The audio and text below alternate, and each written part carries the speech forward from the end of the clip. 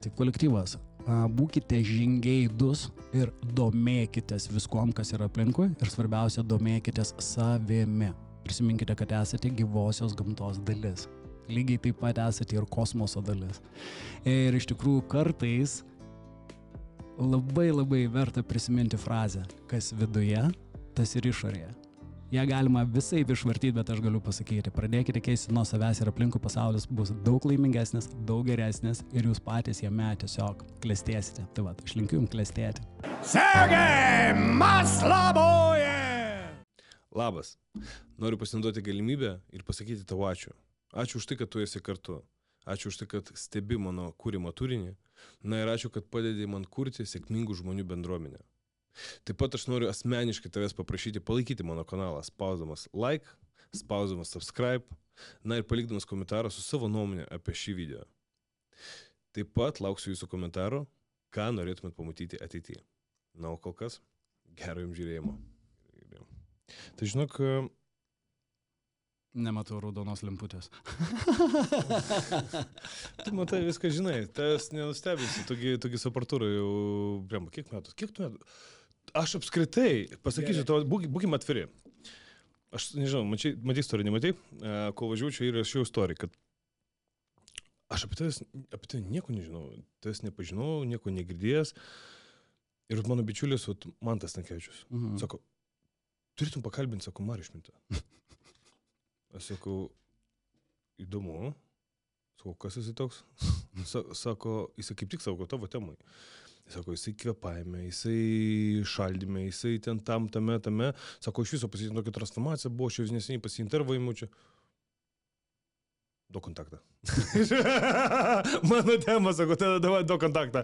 Iš tai dar treniruoti, mes kaip tik varžybose buvom, o varžybom ruošėmės paskutinės dienos, aš turiu toks išvargęs visas, bet duok kontaktą bus gerai. Man labiausiai žmonėse patinka transformacijos. Mhm kaip žmonės, žinai, vieni žmonės po truputėlį keičiasi, kiti žmonės uh, šoka pilną galvą iš karto giliai ir atrodo net pažįstamai keičiasi. Apie tave teko man biški humorką padaryti. Uh, pasakysiu atvirai, aš nesistengiu labai daug uh, humorko daryti apie savo pašnekovus. Aš manau, kad žinai, jie atsiveria patys pokalbio metu. Uh, tiesiog, kad žinoti, su kuom aš bendrausiu. Tai uh, sakė, buvo vakarėlių liūtas.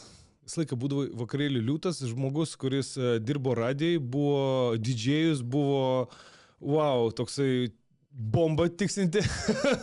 ir čia, bum, sako, dingo iš visur, sako, iš visų sos tinklų, iš visur, sako, jisai patapo gūrų. Tai kas tu, Mariau, toks? Visų pirma, visų pirma, aš noriu pasakyti ačiū tau. Ačiū tau. Ačiū tau, kad atvarėjai. Ačiū tau, kad pakvietėjai. Ir kas yra Marius Šmitas? Žinau, aš nežinau, tai tikriausiai yra reiškinys. Nu, aš esu čia, aš čia sėdžiu, jo, ir tai tikriausiai yra ėjimas per gyvenimą. Tai va, Marius Šmitas yra toks. A, ačiū tau labai, kad pakvietei. Um, aš nesutikčiau su tuo, kad aš buvau vakarėlių liūtas. Aš manau, kad tuo metu aš apskritai buvau vakarėlis. Taip, nesakau. jo, suprantate. Gal gilumoji širdies, širdies tai tokių ir likai? Matai, kas yra, ta prasme, tai visą laiką buvo gyvenimo būdas. Mm. Ta prasme, gyvenimo būdas tai yra kuom gyveni. Kai, va, pavyzdžiui, tu gyveni sportu, tau yra gyvenimo būdas, tai ne, ir tau net nekyla klausimų. Tai man panašiai vat, buvo, žinai, kiekvienas etapas toks. Po to su metais einant aš jau pradėjau daugiau suprasti, kodėl tas viskas vyko. Tai žinai, kai mhm. sakoma, kad nueini daugiau, giliau tam, kad kitiem galėtum paskui daugiau parodyti. Nu taip, taip, tai visą laiką tai, tai būna, aš negi pagal save galiu pasakyti, kad uh, iš pradžių, kol jaunas esi, kol savo kelionės pradžiojasi, tu galvoji, kaip man čia sužinoti, kaip man čia gauti, kaip man čia išmokti, kaip man, man, man, man, man, man, man, man, paskui toks, kai užlipi ant, ant to kalno, jau supranti, o ką aš galėčiau palikti po savęs, mm. kaip kuo aš galėčiau pasidalinti, kaip aš galiu duoti, duoti, atiduoti, padovanoti, pasidalinti. O kažkaip viskas keičiasi. Atrodo, toks į kalną, paskui nuo kalno. O taip. Tai va yra tas pats gražiausias etapas, kada ateina tas noras atiduoti. Nes mm. tada būni prikaupęs, yeah. turi savo prisirinkęs ir ateina, nu, taigi negali laikyti visko. Pasiemęs niekam neduosiu. Žinai, tai ir va, tai yra. Yra, yra tokių žmonių. Yra, tokių yra, žmonių. yra. Man atrodo, mes pažįstam tokių ir tu mm. ir aš. Nes yra tokių. Pilna. Sakyk. Jo, o dabar, ta prasme, daug atsakant į tavo tą pirmąjį klausimą, Jo. ne, tai mano gyvenime buvo daug etapų, skirtingų etapų ir kiekvieno etapu tai na, buvo kažkoks tai etapas, ne, lygiai taip pat, kai, sakykime, tai buvo ir šaubizo etapas, um, ta prasme, radijas, telikas, visi šitie dalykai, po to staigiai pas mane buvo switchas toks, kada man nusidegė raudona lemputė, visko atrodo, kad čia jau buvo per daug, žinai, to viso šaubizo ir tų su visų, man nusidegė raudona lemputė, aš šokau labai profesionaliai, jėgos aitvarus, pas mane atsirado kaitai gyvenime. Ta, va taip, va, va, iš karto. Matai, aš nuo vaikystės sportavęs visą laiką Aha. buvau, tai man fizinė veikla ir fizinis aktyvumas visą laiką buvo prioritetas. Žinai, ir, ir už tada atsirado man kaitai, aš viską mečiau ir išlėkiau. Pas mane buvo septyni metai važinėjimo po pasaulio gyvenimo pležuose ir žiemą vasarą mokant žmonės skaituoti. Jėgos įtvarai, žinai, nu, vat, buvo Bet, bet, bet antrosios pusės neturėjo. Ne. Nu, kai aš turiu, bet supranti, kad aš turiu, tai ta prasme, nu visko tenai buvo gyvenime, sakykime, bet būdavo šalia manęs. Tai tu esi. Nu, kažkur tai jo. Irgi tokios uh, Irgi. laisvos sielos. Buvo žmogus. jo, buvo irgi viena, kita, nu, šią apie asmenį gyvenimą galbūt nesiplėsiu. Gražuolis. Sakai, o kiek tau dabar? A, daugiau negu 50. žinai. Daugiau negu 50? Jo. Bet labai gerai atrodai. Mm, Aš prastai atrodau, todėl kad iš tikrųjų šiandien dieną aš tikrai atrodau prastai, tai prasme aš nesu patenkintas, sakykime, galiu atrodyti geriau, bet ne dėl to, kad, žinai, aš, o kaip aš čia noriu atrodyti, Jo. žinai, nu, bet ta prasme tai yra pojūtis vidinis. Mhm, mhm. Aš turiu truputėlį dėl to, kad e, truputėlį turiu keletą smulkių tokių sveikatos problemyčių, kurios taip išlindo ir kurios man kažką tai bando parodyti ir aš taip dar jų nelabai noriu priimti ir toks pykstu, žinai, biškai, bet manau, čia labai greitai susitvarkysiu. Ok, ok. Čia traumos kažkokios? Kaip? Traumos kažkokios ar? Jo. Nu, tos traumos, kai, kai žinai, traumų neturi tie, kurie nieko nedaro. No. Galbūt tik tais tie. Bet tai to pasiūgė, hemorojus lenda tas. Gyvenimas irgi jam parodo, kažką noriu pasakyti. Jo, Nieko jo. tokio. Išprakaitosiu. Išprakaitosiu. Tas, kaip, kaip, kaip tu apskritai patraukiai, patraukiai į, į, nu, tai tą patį radio. Kaip tu ten atsiradai? Nes pirmą, pirmą voicemail, kuriuos aš iš tavęs gavau, aš dar nežinau, kad, kad tu Mm. radio vedėjas buvai, žinai. Ir toks, blembukus balsas. Atrodo, nesusakė, o sudainavo, klausyk. vat. Pas tas yra tas, žinai, ištreniruota. Aš nežinau, ačiū už gražius žodžius, bet aš nežinau, ar tai yra ištreniruota, tiesiog radijas pas mane buvo labai įdomiai. Aš gyvenime, šiaip Mhm. jau, a, turbūt, kad nuo mokyklos, vienas iš tokių dalykų, kuris man buvo, ta, nuo visiškos paauglystės, aš labai norėjau dirbti radijui. Okay. Tiesiog aš norėjau to.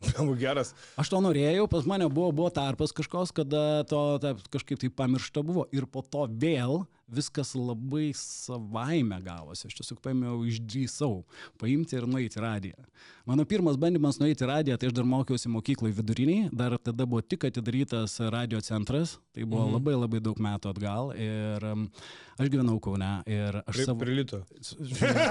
Dar, dar, dar, dar net prie lito, dar prie rublio. žinai. Jo. Dar pati pati pradžia. Aš mokiausi dar mokykloje ir, em, palauk, 11 klasėje jo buvau. Ir paskelbė, kad ieško radio vedančiųjų Vilniuje. Tai įsivaizduoju, ant kiek aš, aš ten viso smulkmenų neatsimenu, bet aš užparinau savo tėtį, kad jisai mane nuvežtų į Vilnių, į radiją. Ir aš ateičiau, tą prasme, sakyčiau, va, aš noriu pas jūs dirbti. Suprantate, atėjau. į- Sakau, radio centras yra vienas, aš dabar nepamenu, kažkas iš jų, va, tik tik jie buvo atsidarę. Sakyk, pats iš kur? Aš gimau, užaugau Kaune. Kaune. Mm. Tau kiek metų tuo metu? Man tuo metu buvo, dar nebuvo 18 man. 17 metų. Jo, jo, dar man nebuvo. Jo, Ir tu užparinai tėtį Ir aš atvežti. užparinau, kad mane atvežtų į radiją ir aš atėjau, man labai gražiai mane priėmė, su manim labai gražiai pakalbėjo, sako, nu, va, suprantat, nu, sako, jūs esate Kaune, į mane taip gražiai labai kreipėsi, žinai, radijoje sako, jūs esate Kaune, o čia va Vilniuje ir man reikia eiti vis tiek į mokyklą, reikia pamokų nepraleisti, žinai. Aš naglas atvaręs, aš noriu pas jūs dirbti. Eik tu savo. Jo, Eik tai buvo sau. tokia pradžia mano kažkada, tai pirmieji tie tokie žingsniai vaiko. Bet kaip man patinka vat, tokias istorijas girdėti. Čia lygiai taip pat kaip mano treneris. Aš niekada gyvenime turbūt nebuvau sutikęs žmogaus, išskyrus jo, kuris nuo paauglystės norėjo būti kovos menų treneriu. Mhm. Ta prasme. Kas nori būti treneriu? Visi nori būti kovotojais. Kas, nu, tipo, treneris, nu, kas esi toks? Tipo, Baigtų nu, treneris. Aš, nu, mes dabar tai susprantam, bet tu, būdamas jaunas bahūras, ar tu galvotum, kad nors treneriu, arba aš noriu būti radijoje dirbti.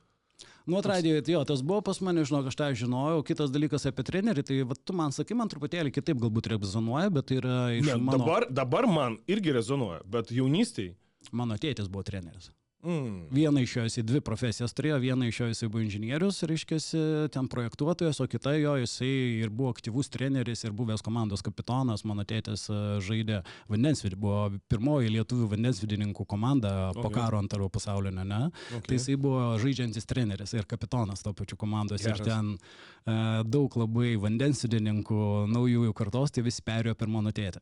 Geras. Jo, jisai buvo ten savo laiku, ta prasme, ten sportininkų sportininkas. Tai Nu- aš, vat, kad jisai treneris, aš šitą, žinai, tą suvokiu ir tą suvokiu, kada matau, kad, žinai, tave įmeta nuo vaikystės į tą baseiną su, su metalinė kėdė. Na, gilumuoja. Nu, vandens vidingai, taigi turi neskęst. Čia, Treniruotė. čia, čia, čia, čia kaip e, senuose laikose me- mesdavo, mesdavo į prūdą, kad tu, kad tu išmoktum plaukti, ir tipo be pagalbos, ir kai motina ten pradeda panikuoti, sakyk, nepergyvenk, šūdas neskęsta. Čia, na tai čia būdavo kitaip. Vaikam, mums vaikam būdavo kitokios treniruotės, aš nežinau, kaip dabar jos vyksta, bet e, aš nežinau, ar pamenė ar ne, anksčiau buvo mokyklose tokios geležinės kampuotos kėdės, kur tokia stora faniera ir buvo, ta prasme, medis presuotas ir toks e, kampuotis metalinis, jinai sunki ta A, kėdė. mokyklose? Jo, mokyklinė. A, nu, kėdė. tai jo, jo, tai sėdės tos- ant tokių. Nu, Tai- nu, nu, tai- tai va tokia kėdė. Tai va šitokia kėdė, tau giliam baseinė duoda vaikui rankas, rankos iškeltos, tu ją ištestom rankom iškeltom turi laikyti ir dirbi tik tai su kojom, kad nepaskestum giliam vandenį. Tai čia treniruotė. Čia rimtas. Eik Tai tu. čia, aš tą Čia, čia be, be, be tų belastų. Be lastų be nieko, jo. Tai čia normali praktika tam, kad tu gerai jaustumės ir būtum ant vandens paviršiaus visą laiką. Aš nežinau, kiek tu ten gerai turi jaustis tada. bet- Žinai, vandens viduje kaip yra, ta prasme, žmogų tu gali skandinti, kamulio negali skandinti. Ir štai, žinai, susirinkę visi tenai. Įspūdingai, įspūdingai. Čia tai gera patirtis. Jo, toksai. Bet klausyk, bet uh, va, tokiom treniruotėm tavęs ne, net mušė tau noro apskritai nuo sporto. Na. Nu? Na. Aš norėjau visą laiką daugiau, mane tėtis matė turbūt, kad aš būsiu vandensvidininkas, kad, ta Mhm. prasme, aš toliau ten plauksiu, viską, bet mane labai tempė į kitus dalykus. Aš vis paimdavau, atsitraukdavau nuo vandensvidžio, nueidavau į kokį dziudo ten, žinai, dar aš eidavau vati tokius labai kažkaip tai norėjau.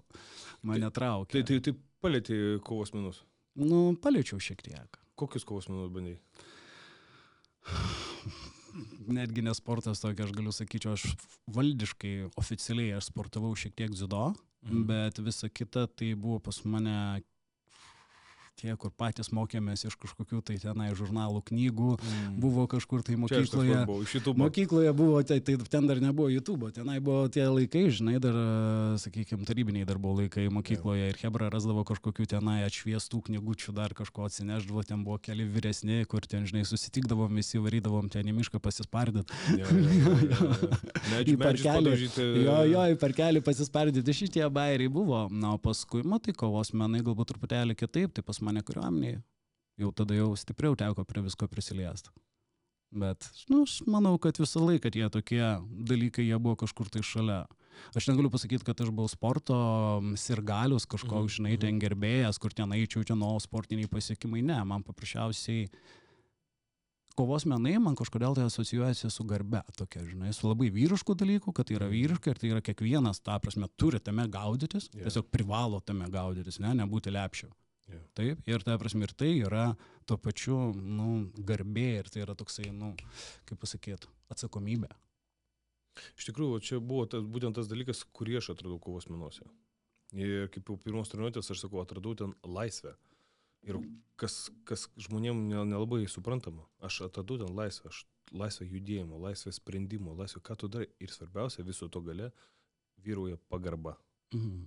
Pagarba, kur niekur kitur nevyruoja. Mhm. Pataikė, nepataikė, bauda, nebauda, eiktum ir ten taip toliau. O čia ne. Čia eiktų, na, į tu savo tą, na, prarysi. Tave privers į praryti. Jeigu ne, ne tas, tai kas nors kitas, arba treneris, bet privers praryti. Tai kažkaip taip i- išu, padeda išugdyti pagarbą vienas kitam. Tai todėl tokių šių laikinių, pavyzdžiui, jaunimo bendravimo, kai ten tiesiog draugiškai viens kitą siuntinėja ir, ir vadina visokiais žodžiais, tai aš nelabai suprantu. Mano laikais kažkaip tai už tokius dalykus muždavo į dantis. Tai tas, plus, kau, kau, jo, buvo šiek tiek kitaip. Buvo šiek tiek kitaip, buvo ten žodžiais, darbais, o ne žodžiais. Jo, jo, tai vat aš, vat, lygiai tą patį aš mokinu savo vaikus, nuo, sakau, vaikai, jisai ten tą, tėtė, aš ten tą, tą, tą, sakau, klausyk. Veiksmai kalba daug garsiau už žodžius. Padaryk, o tada galėsim pakalbėti. O taip. Mhm. Sakyk, geriau, grįžtam prie tavęs, grįžtam prie kvepavimo. Mhm. Man tai labai įd- įdomi tema. Kaip tu atradai kvepavimą, kaip uh, kvepavimas atrado tave? Labai žinok įdomi. E, Pasakysiu istoriją, ta prasme, kuri tikrai yra labai juokinga. Kaip e, pirmą kartą mano, pas mane kvepavimas pirmą kartą apskritai, tai jisai stipriau galbūt praėjo kokiais 2006 metais. Oho. kai aš landžiu, aš labai domėjausi, man jau buvo taip, e, nežiūrint to, kad, žinai, tūsindavom, būdavom ir pas mane gyvenimas elektroninė muzika, ten, žinai, šaubizas visas taip toliau, bet šone pas mane buvo joga. Aš landžiojau į, tą prasme, į jogą, į meditacijas, man visą laiką buvo įdomu, bet aš, nu, to kažkaip ne, neviešinau, bet man visada buvo įdomu, kas tenai yra napus. Kas, va, yra kitaip, kaip čia, va, viską suprasti, o kodėl šitas pasaulis toks yra ir iš tikrųjų visą gyvenimą to buvo. O Kal- kodėl čia viskas yra taip, o ne kitaip, žinai? Kalbėdavai su, su, su, su draugais bendrabžiais apie šitą. Nu tai ten, žinai, ten, ta prasme, nelabai daug su kuo turėdavai pakalbėti. Aš suprantu, tai vat man, man, man, man tas įdomu, jo. ar ar kaip pakalbėdavo, kaip, kaip reaguodavo žmonės. Na, aš ten, to, aš labiau, žinok, ten toks biški autizmą savo ten iššokdavau, kažką ten skaitydavau, kažkur mokydavausi, kažkur landžiodavau visiškai kitą sferą, kur visiškai kita žmonių grupė, kurie net neįsivaizduodavo, kad aš landžiau kažkur tai, žinai, iš šoną, kitur. Geras. Tai va, tai pas mane buvo, tai pas mane buvo pranajamos, sakykime, pirmas tas dalykas, tai kartu su joginiais visais dalykais atėjo kvepavimo pratimai. Mhm. Man tik tai kai kurie patiko, kurie buvo, reiškia, griežtesni, o kai kurie man nepatiko, nes man atrodo, ai, čia nuobodu, čia šūdas, ta, ei, neįdomu, čia reikia, kad greičiau viskas būtų, stipriau, žinai, o ten, ten lietai. Ir jie ėjo, ėjo, praėjo, aš ten kažkiek pakvepavau, kažkiek nepakvepavau, dėmesys kitur ir ne. Ir man sugrįžo labai įdomiai viskas, kai tik tai prasidėjo karantinai. Mm. Pats pirmas karantinas. Na, sakau, tą istoriją aš jau šiandien kartą su ją pasakojęs, aš buvau Balyje tuo metu ir tuo metu čia visiems skriskite visi jau namo, ten viskas. Čia aš galvoju, Nu, niekur aš namo, neskrisiu, sėdėti namo, bute, tipo, nu, sėdėti tipo, galvoju, bute. Niekur aš neskrisiu, lieku tenai, galvoju, viskas tvarkoja, ten iš, iš ambasados, iš Japonijos dar skambina, tipo, jums lėktuvas paskutinis paruoštas daugiau nebus galimybių, galvoju, skriskite jūs tik tai visi, nu, niekur aš neskrisiu, aš jau geriau džiunglėse, aš įpratęs gamtos vaikas, aš eidamas džiunglėse ir išgyvensiu ir man viskas bus ok. Okay. Ir, ir man tiesiog, tiesiog aš pasilieku ir man praėjus keliom tiesiog dienom, žinai, kada sėdi galvoja, mm, nu gerai, tvarkoju, čia tas Netflixas, ne? Netflixas. tai va, kad čia jau serialas apie, mm, kaip jisai vadinasi, apie virusą, Yeah. kad čia jau dabar visi mirs aplinkui, nu jo. žiūrim, kas čia dabar bus. Ir man staiga paima į šoką. Barzdylą, kuris sako, o tai mes čia va, susileidom, bakterijų pakvepavom ir viskas, imunitetas bakterijas užmuša. Vimhof. Aišku, Vimhofas. Ir aš to, opa, galvoju, palauk, ką tu čia dabar šneki? Bet palauk, tu, ta prasme, video pamatėjai. Aš video pamačiau. A, aš galvoju, aš pamačiau video. neužsitikai Ne, ne, ne, ne, ne, ne. Aš pamačiau video. Man random e, kažkur tai YouTube išlindo, bet mane labai tai pagavo ir aš taip palauk. Ir aš pradėjau tada žiūrėti, kas yra gilien. O aš toks esu žmogus, jeigu kas nors man įdomu, aš pradedu labai giliai jo. kapstyti. Man įdomu, aš tada ten įlendu gilyn ir ten viskas. Tai taip, pas, jo, pas mane atsirado tai Vinhofas. Aš pradėjau, ta prasme, žiūrėti Vinhofą, pradėjau žiūrėti, kas yra, koks yra mokslas, žinai, kad tai yra ne kokios ten, žinai, birutės būrimo salonas ar Jo. parapsichologijos akademija, žinai, Mhm. prie stoties kokia. Tai vėl ta prasme, kad rimti dalykai ir pradėjau žiūrėti tą viską. Aha, tada pradėjau rinkti daugiau informacijos. Pradėjau ieškoti mokslininkų, genetikų, po to pradėjau žiūrėti, kur buvo na, daugiau tyrimai visokie daromi su kvepavimu, su mm, šito, su giluminiu nardymu, kokie tenai vyksta pokyčiai. Na ir vienu žodžiu, aš įlindau, va taip, va giliai į kvepavimą ir pradėjau labai giliai sėdėti kvepavime. Tiesiog. Ir tada atsitiko kažkoks tai naujas visai dalykas, nes aš pradėjau visai kitaip jaustis. Po būseną Papasakok. paties. O dabar labai įdomu. Jo, tai kada tu darai praktikas? Ateina labai įdomus momentai, pažinai, jeigu kvepuoji daug. Jo. Jo, tai su kvepavimu ateina po kažkiek laiko, iš pradžių, kada tu darai algoritmus tuos, Mhm. nes man buvo taip, aš atmečiau kai ką, kas buvo oficialioji tenai, oficialiuose tose mokymuose, aš kai ką atmečiau, nes man tas netinka, na jaučiu, man netinka, okei. Okay. Kažkam kitam tinka mane ir tokį, žinai, savo Frankensteiną, kaip sakoma, iš gabalų susidėjau. Kada aš pradėjau viską daryti, nu, visiškai keičiasi ryšys su aplinka. Aš nenoriu to mistifikuoti, nenoriu ten, žinai, ten, oi, ten kažkas tai to. Aš tiesiog sakau, mes keičiamės viduje. Ne, tai, Prasikvepuoji, tai- tas- tas prakvepuoji savo vidų. Suprantate, Ir- vis, tiek, vis tiek, tą, ką mes jaučiam, čia mes jaučiam savo. Ta, ką Taip. mes dalinamės, čia ne visiems suprast. Ir Jo, tai ta prasme, tai- tai supranti, man labai viskas yra įdomu, per pavyzdžiui. pojūtį. Viskas yra per pojūtį. Aš už tą, kas pas mane, kas su kuo aš dalinuosi žiniomis apie kvepavimą, aš visą laiką sakau, Hebra, štai yra algoritmas. Mhm. Kvepuoji tiek kartų, taip ir būtent šitaip stebi tam tokius ir tokius dalykus, į ką atkreipi dėmesį. Ir tiesiog mes visi turim tą galimybę prasikvepuoti ir jaustis visiškai kitaip. Ir man tai buvo, man tai buvo didelis nustebimas, man tai buvo šokas pačioj pradžioj, nes aš galvoju, wow, o ką ir šitaip galima. Žinai, tas toks, kur Mhm. Ir šitaip galima, palauk, o, o čia dabar kas vyksta, o čia iššokia į tokią būseną, o čia pasikeitė į tokią būseną. Tada pradedi suprasti, kokie yra viduje mm, fiziologiniai procesai. Taip, Mhm. ir prasideda ta fiziologija. Kada tu pradedi per parasimpatiką, per parasimpatinę nervų sistemą, tu pradedi re reguliuoti, ta prasme, limfą pradedi reguliuoti vidaus organų veiklą ir ta, tiesiog tą supranti, kad tas vyksta ir toks, wow, ups. Supranti, ir įeini į labai įdomų, visiškai kitą, ten jau visiškai kitas kosmosas. Ten jisai ir yra, jisai ant tiek bekraštis, ten ir ant tiek yra viduje įdomu.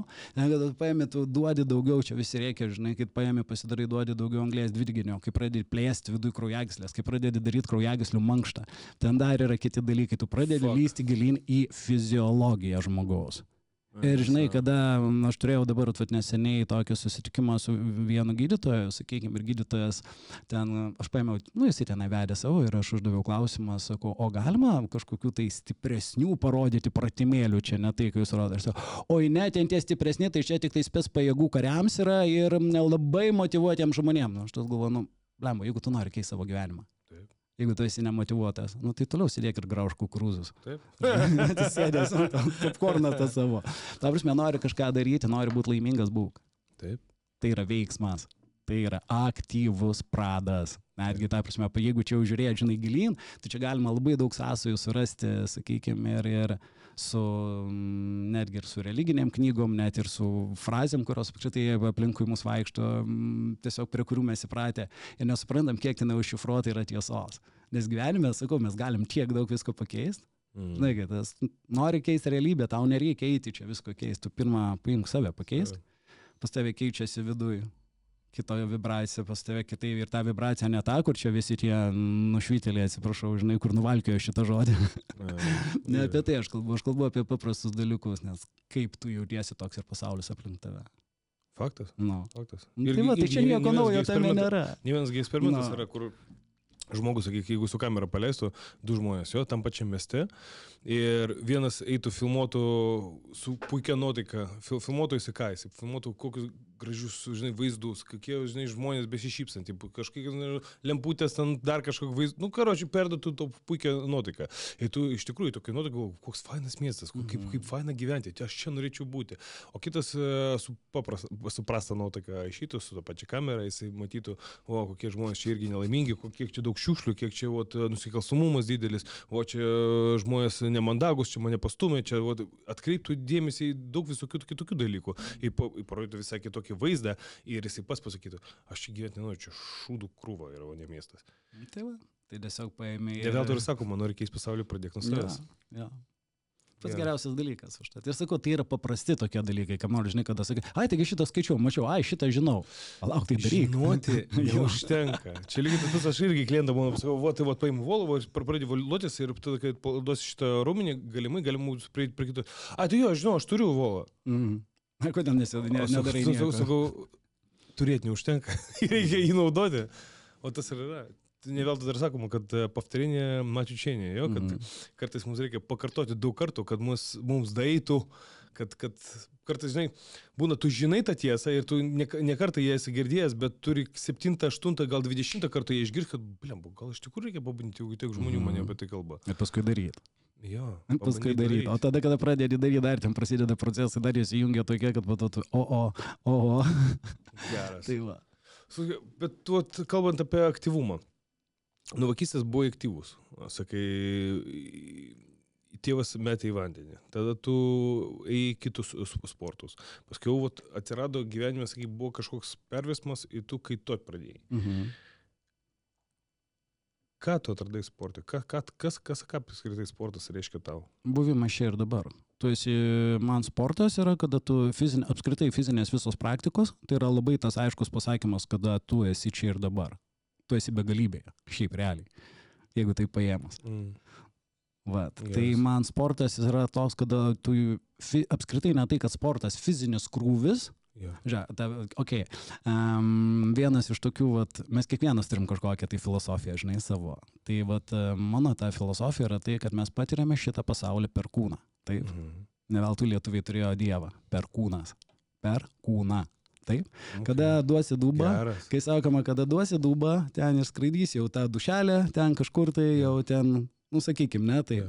Bet čia dabar mes patiriam per kūną ir esmė yra ta esmė, kad va, visą šitą realybę, kur mes esam, ją mes patiriam, va, per šitą skafandrą, Jo. va, per Jo. šitą mašinytę, va, Jo. kuri va čia iš kaulų, iš visko padaryta. Ir kada tu juo rūpinėsi ir tu suvoki, pro jį praleidinėjai gyvenimą, va tada ateina tas toks, man nežinau, toks, mm, Vat sportas tą padeda padaryti, dėl to, kad tu esi fiziniam tonuse. Nes tam, kad gyvenimas eitų per tave, tu turi būti geram fiziniam tonuse. Aš taip manau. Galbūt su manim kiti kas nors, aš nepretenduoju į vienintelę tiesą, Mhm. nes e, kiekvienas turi, žinai, tas savo tiesas. Bet aš stebėdamas save, jausdamas save, aš tiesiog prie tos išvados priejau. Nu, tiesiog. Man geriausia yra tai, kad aš esu tonuse. Ir kada aš vat, visą laiką esu tonuse, tu pasportavęs, pas tai kitą santykį su, su realybė aplinkui. Pažiūrėk, tu kada pasportuoji, pas tai viskas. Jo, jo, jo. jo. Tu pas tai atsiranda greitis, ta, pas tave kitaip, Kai akis kitaip esi, kabinasi, jo akis kitaip kabinasi už vaizdo, na, jos kitaip liečia vaizdą, na, pas tave pirštai kitaip juda. Taip, tu kitaip lieti bet ką, tu paėmi kažką, tai, na, nuo da, daiktą bet Ne, kokį. netgi, netgi jeigu žmogus labai aktyvus, jau, kaip sakai, tonusi, įeina netgi į tą patį restoraną arba į kažkokį patalpą, kur yra daug įprastą gyvenimą gyvenančių žmonių, nu, nori, nenori, jis išsiskiria iš minios. Mm. Jis energetiką savo išsiskiria visų pirma. O Jeigu, jeigu, jeigu ypatingai jeigu jis varžosi, jeigu jis jau dar aukš, aukšto rezultato siekitis, nu, Mhm. nori, nenori, nesupainėsiu su, su, su kasininkė Marytė. Ja, tai va. Faktas. Nu, tai va, tai, tai va, sportas yra toks dalykas, sakau, kuris padeda jausti, padeda jausti gyvenimą. Na, aš manau, kad kiekvienas žmogus Žinai, turėtų. Kai tu dar pasakei, vat, kad e, priva- privalom žiūrėti, sa, e, žiūrėti paskui savo vat, vat, tą aparatą, vat, tą mašiną, kaip tu sakai. Mm. Ir, e, žinai, mano mintis tokia prabėgo, kaip abidna būna, kai kai kurie žmonės rūpinasi pirktinę mašiną labiau negu vat, šitą mašiną. Mm, tai žinai, pats turi per save pereiti. Aš, pavyzdžiui, irgi savo laiku turėjau tikrai etapus, kada visiškai nesirūpinau kūnu. Buvo pas mane tokie, bet jisai apie save taip davė man žinot. Ta prasme, man paėmė parodė ir man taip patoja, oi, sakau, atsiprašau, atsiprašau, oi, atsiprašau, atsiprašau, ne, ne, ne, ne, ne. tai va, Linksmą gyvenimą, gerai. tai aišku. Taigi atėjome į šitą pasaulį tam, kad džiaugtumėmės. Gyvenimo Kaip- džiaugsmas. Kaip, kaip, mano, kaip mano draugas e, pasakė visai čia prieš metus, kelis metus. Frazė labai paprasta, kurią irgi vėlgi daug, daug kartų esu girdėjęs, bet tuo momentu jinai ji man buvo labai labai naudinga. Ir e, privertė mane apskritai mąstyti savo gyvenimą labai. You live only once. Mhm. Jo. Ir tuo metu aš toks, puf, bl- bet iš tikrųjų, what the fuck? Kraunu manatkas ir sakau, važiuoju į Tailandą. Va. O ir todėl mes pakalbėsim su tavimi apie Tailandą. Jo, Tailandas gerai. Tailandas. Nuo, nuo kada į Tailandą skridai ir ką tu ten radai, kas tave ten taip traukia?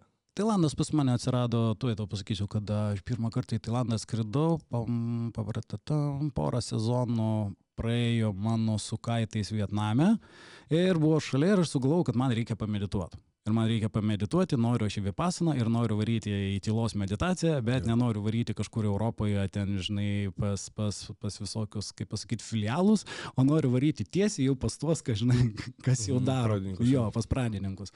Ir taip aš atsidūriau Tailandė. Aš atsidūriau Tailandė, mano pirmas atvažiavimas buvo konkrečiai į šiaurę, konkrečiai dėl Vipasanos. Aš atvykau į vieną vienuolyną, ten pabuvau, man pasirodė, kad čia... Ne, ne, čia per daug tokios lengvos sąlygos. Ir aš nuvariau į kitą vienuolyną, kur ten sąlygos, jau žinai, tokios, a, kur iš viso esi- su niekom nebendrauji, Papasakok, man čia labai jau. vienas. Aš nuvariau į Mahashisaidą tradiciją, tai yra mm, Vipasana, kada yra 21 dieną tyloje.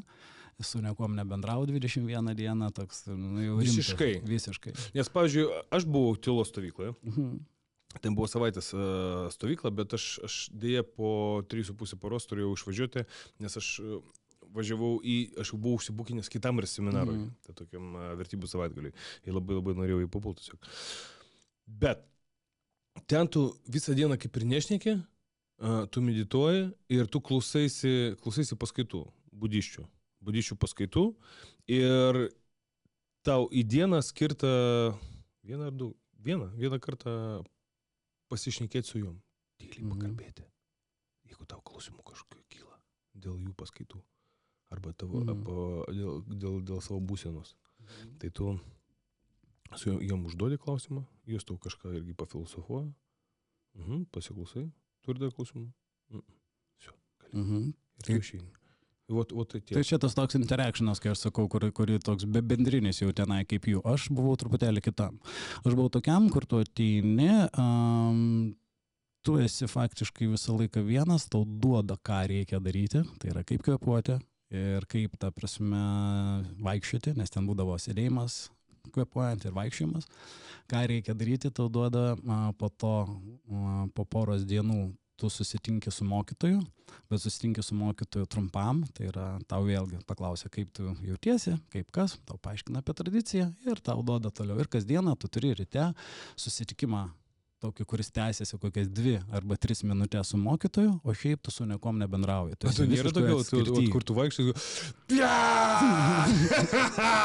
Yra tenai, ko tik tai nori. Ten aš dariau, kada praktikai kitokių buvo bairių, tai prasme, aš nepamenu, kelintą dieną, sakau, vieną atsimenu, kada įneini, tai tik, tik, tik, tik, ir atrodo, kad kūnas viskas, opa, ir čia pasikeitė. Ir aš žinau, kad šimtai, aš ėjau va tam kambarytam, kur vaikščiu, aš ėjau dajau iki sienos ir aš va tai va kišau ranką dėl to, kad man atrodė, kad man rauka kiaurai sieną Siena praeis. praeis. Jo. Aš Geras. atsistoju, aš šitaip.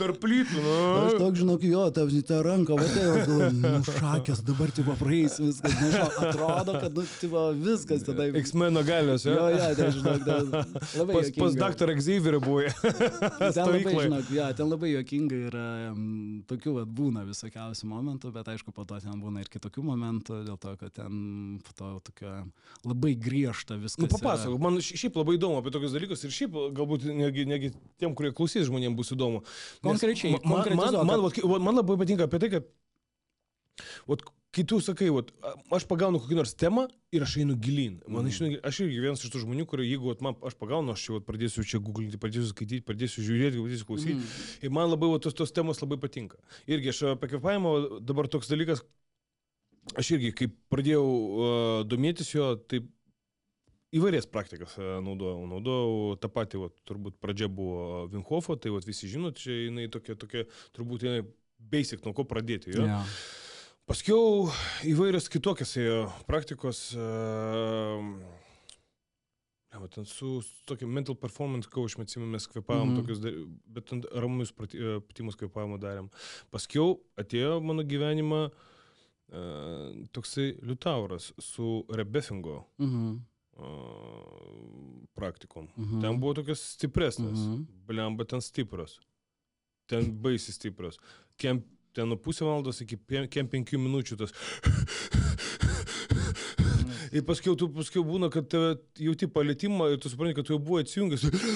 tu tiesiog kvepavimą, guli, čia kur ta dobė, dobė yra, kai tu guli, jinai pilna vandens. Iš nuo to, Mhm. mano man žliaugia prakaitas. Ir pas mas, ma, kaip e, mane filmavo vieną vlogą mano draugas, jisai vadino mm, drakono rankytės. Mhm. Tik mano Jo. rankas va taip surakina ir aš kvepuoju, ir bandau jas tiesinti, jas neįsitiesina niekaip, bandau, ir jas niekaip neįsitiesina. Ir paskui tas kvepavimas dinksta ir paskui mes jau darėm kiekvieną savaitę, žinai, po vieną kartą.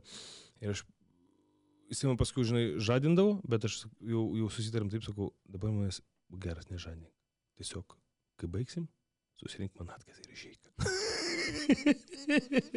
ir jisai mane palikdavo ir aš taip, taip skaniai mėgodavau.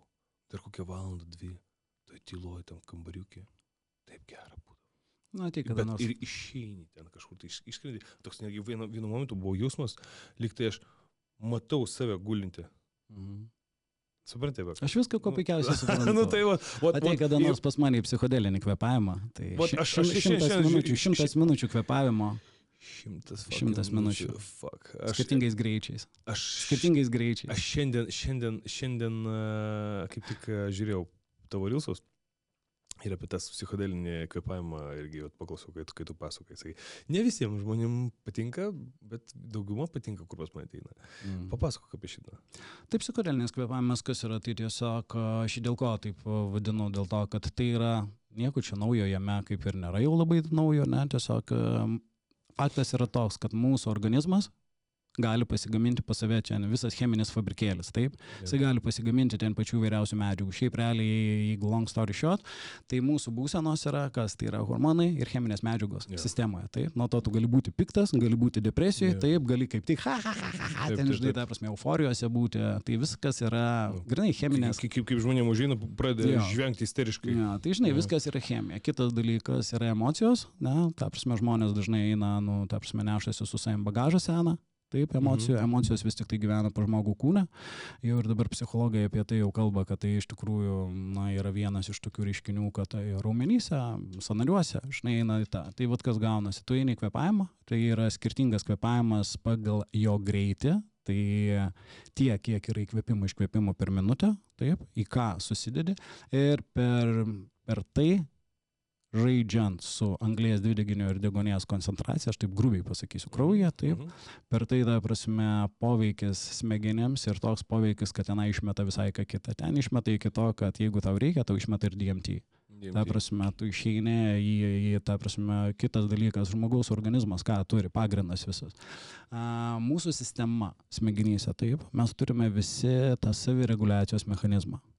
Tai yra, kada tu eini tam tikrum, ir mes turime čia kontroliuojančias dar tas smegenis, kurios viską kontroliuoja. Viską kontroliuoja, niekur tu čia man nieko padarysi, čia nepadarysi, ne iš tos serijos, ne? Jo.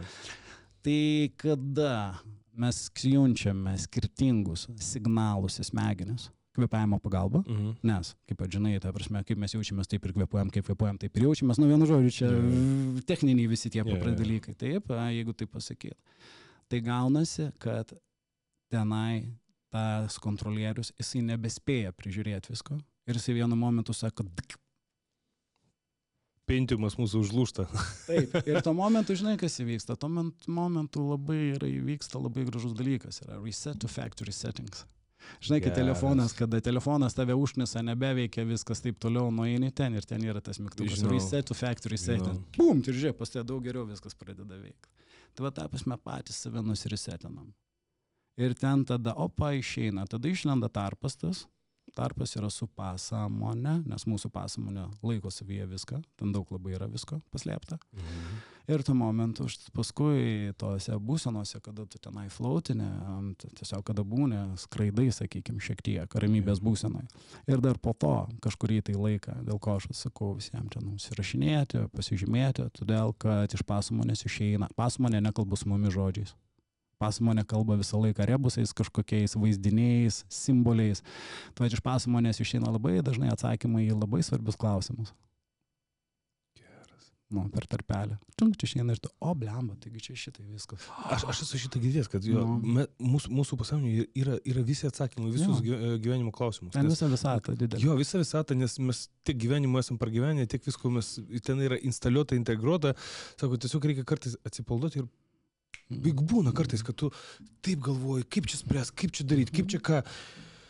Ir paskui, kai nuleidai, eina šiek tiek viskas, žinai, ir toks, taip, pavyzdžiui, pamiršti visą šitą ir kažkom kitų užsimė, nežinau, ten žvėjot, nuvažiuoji, užmetimą darai, pliukšt.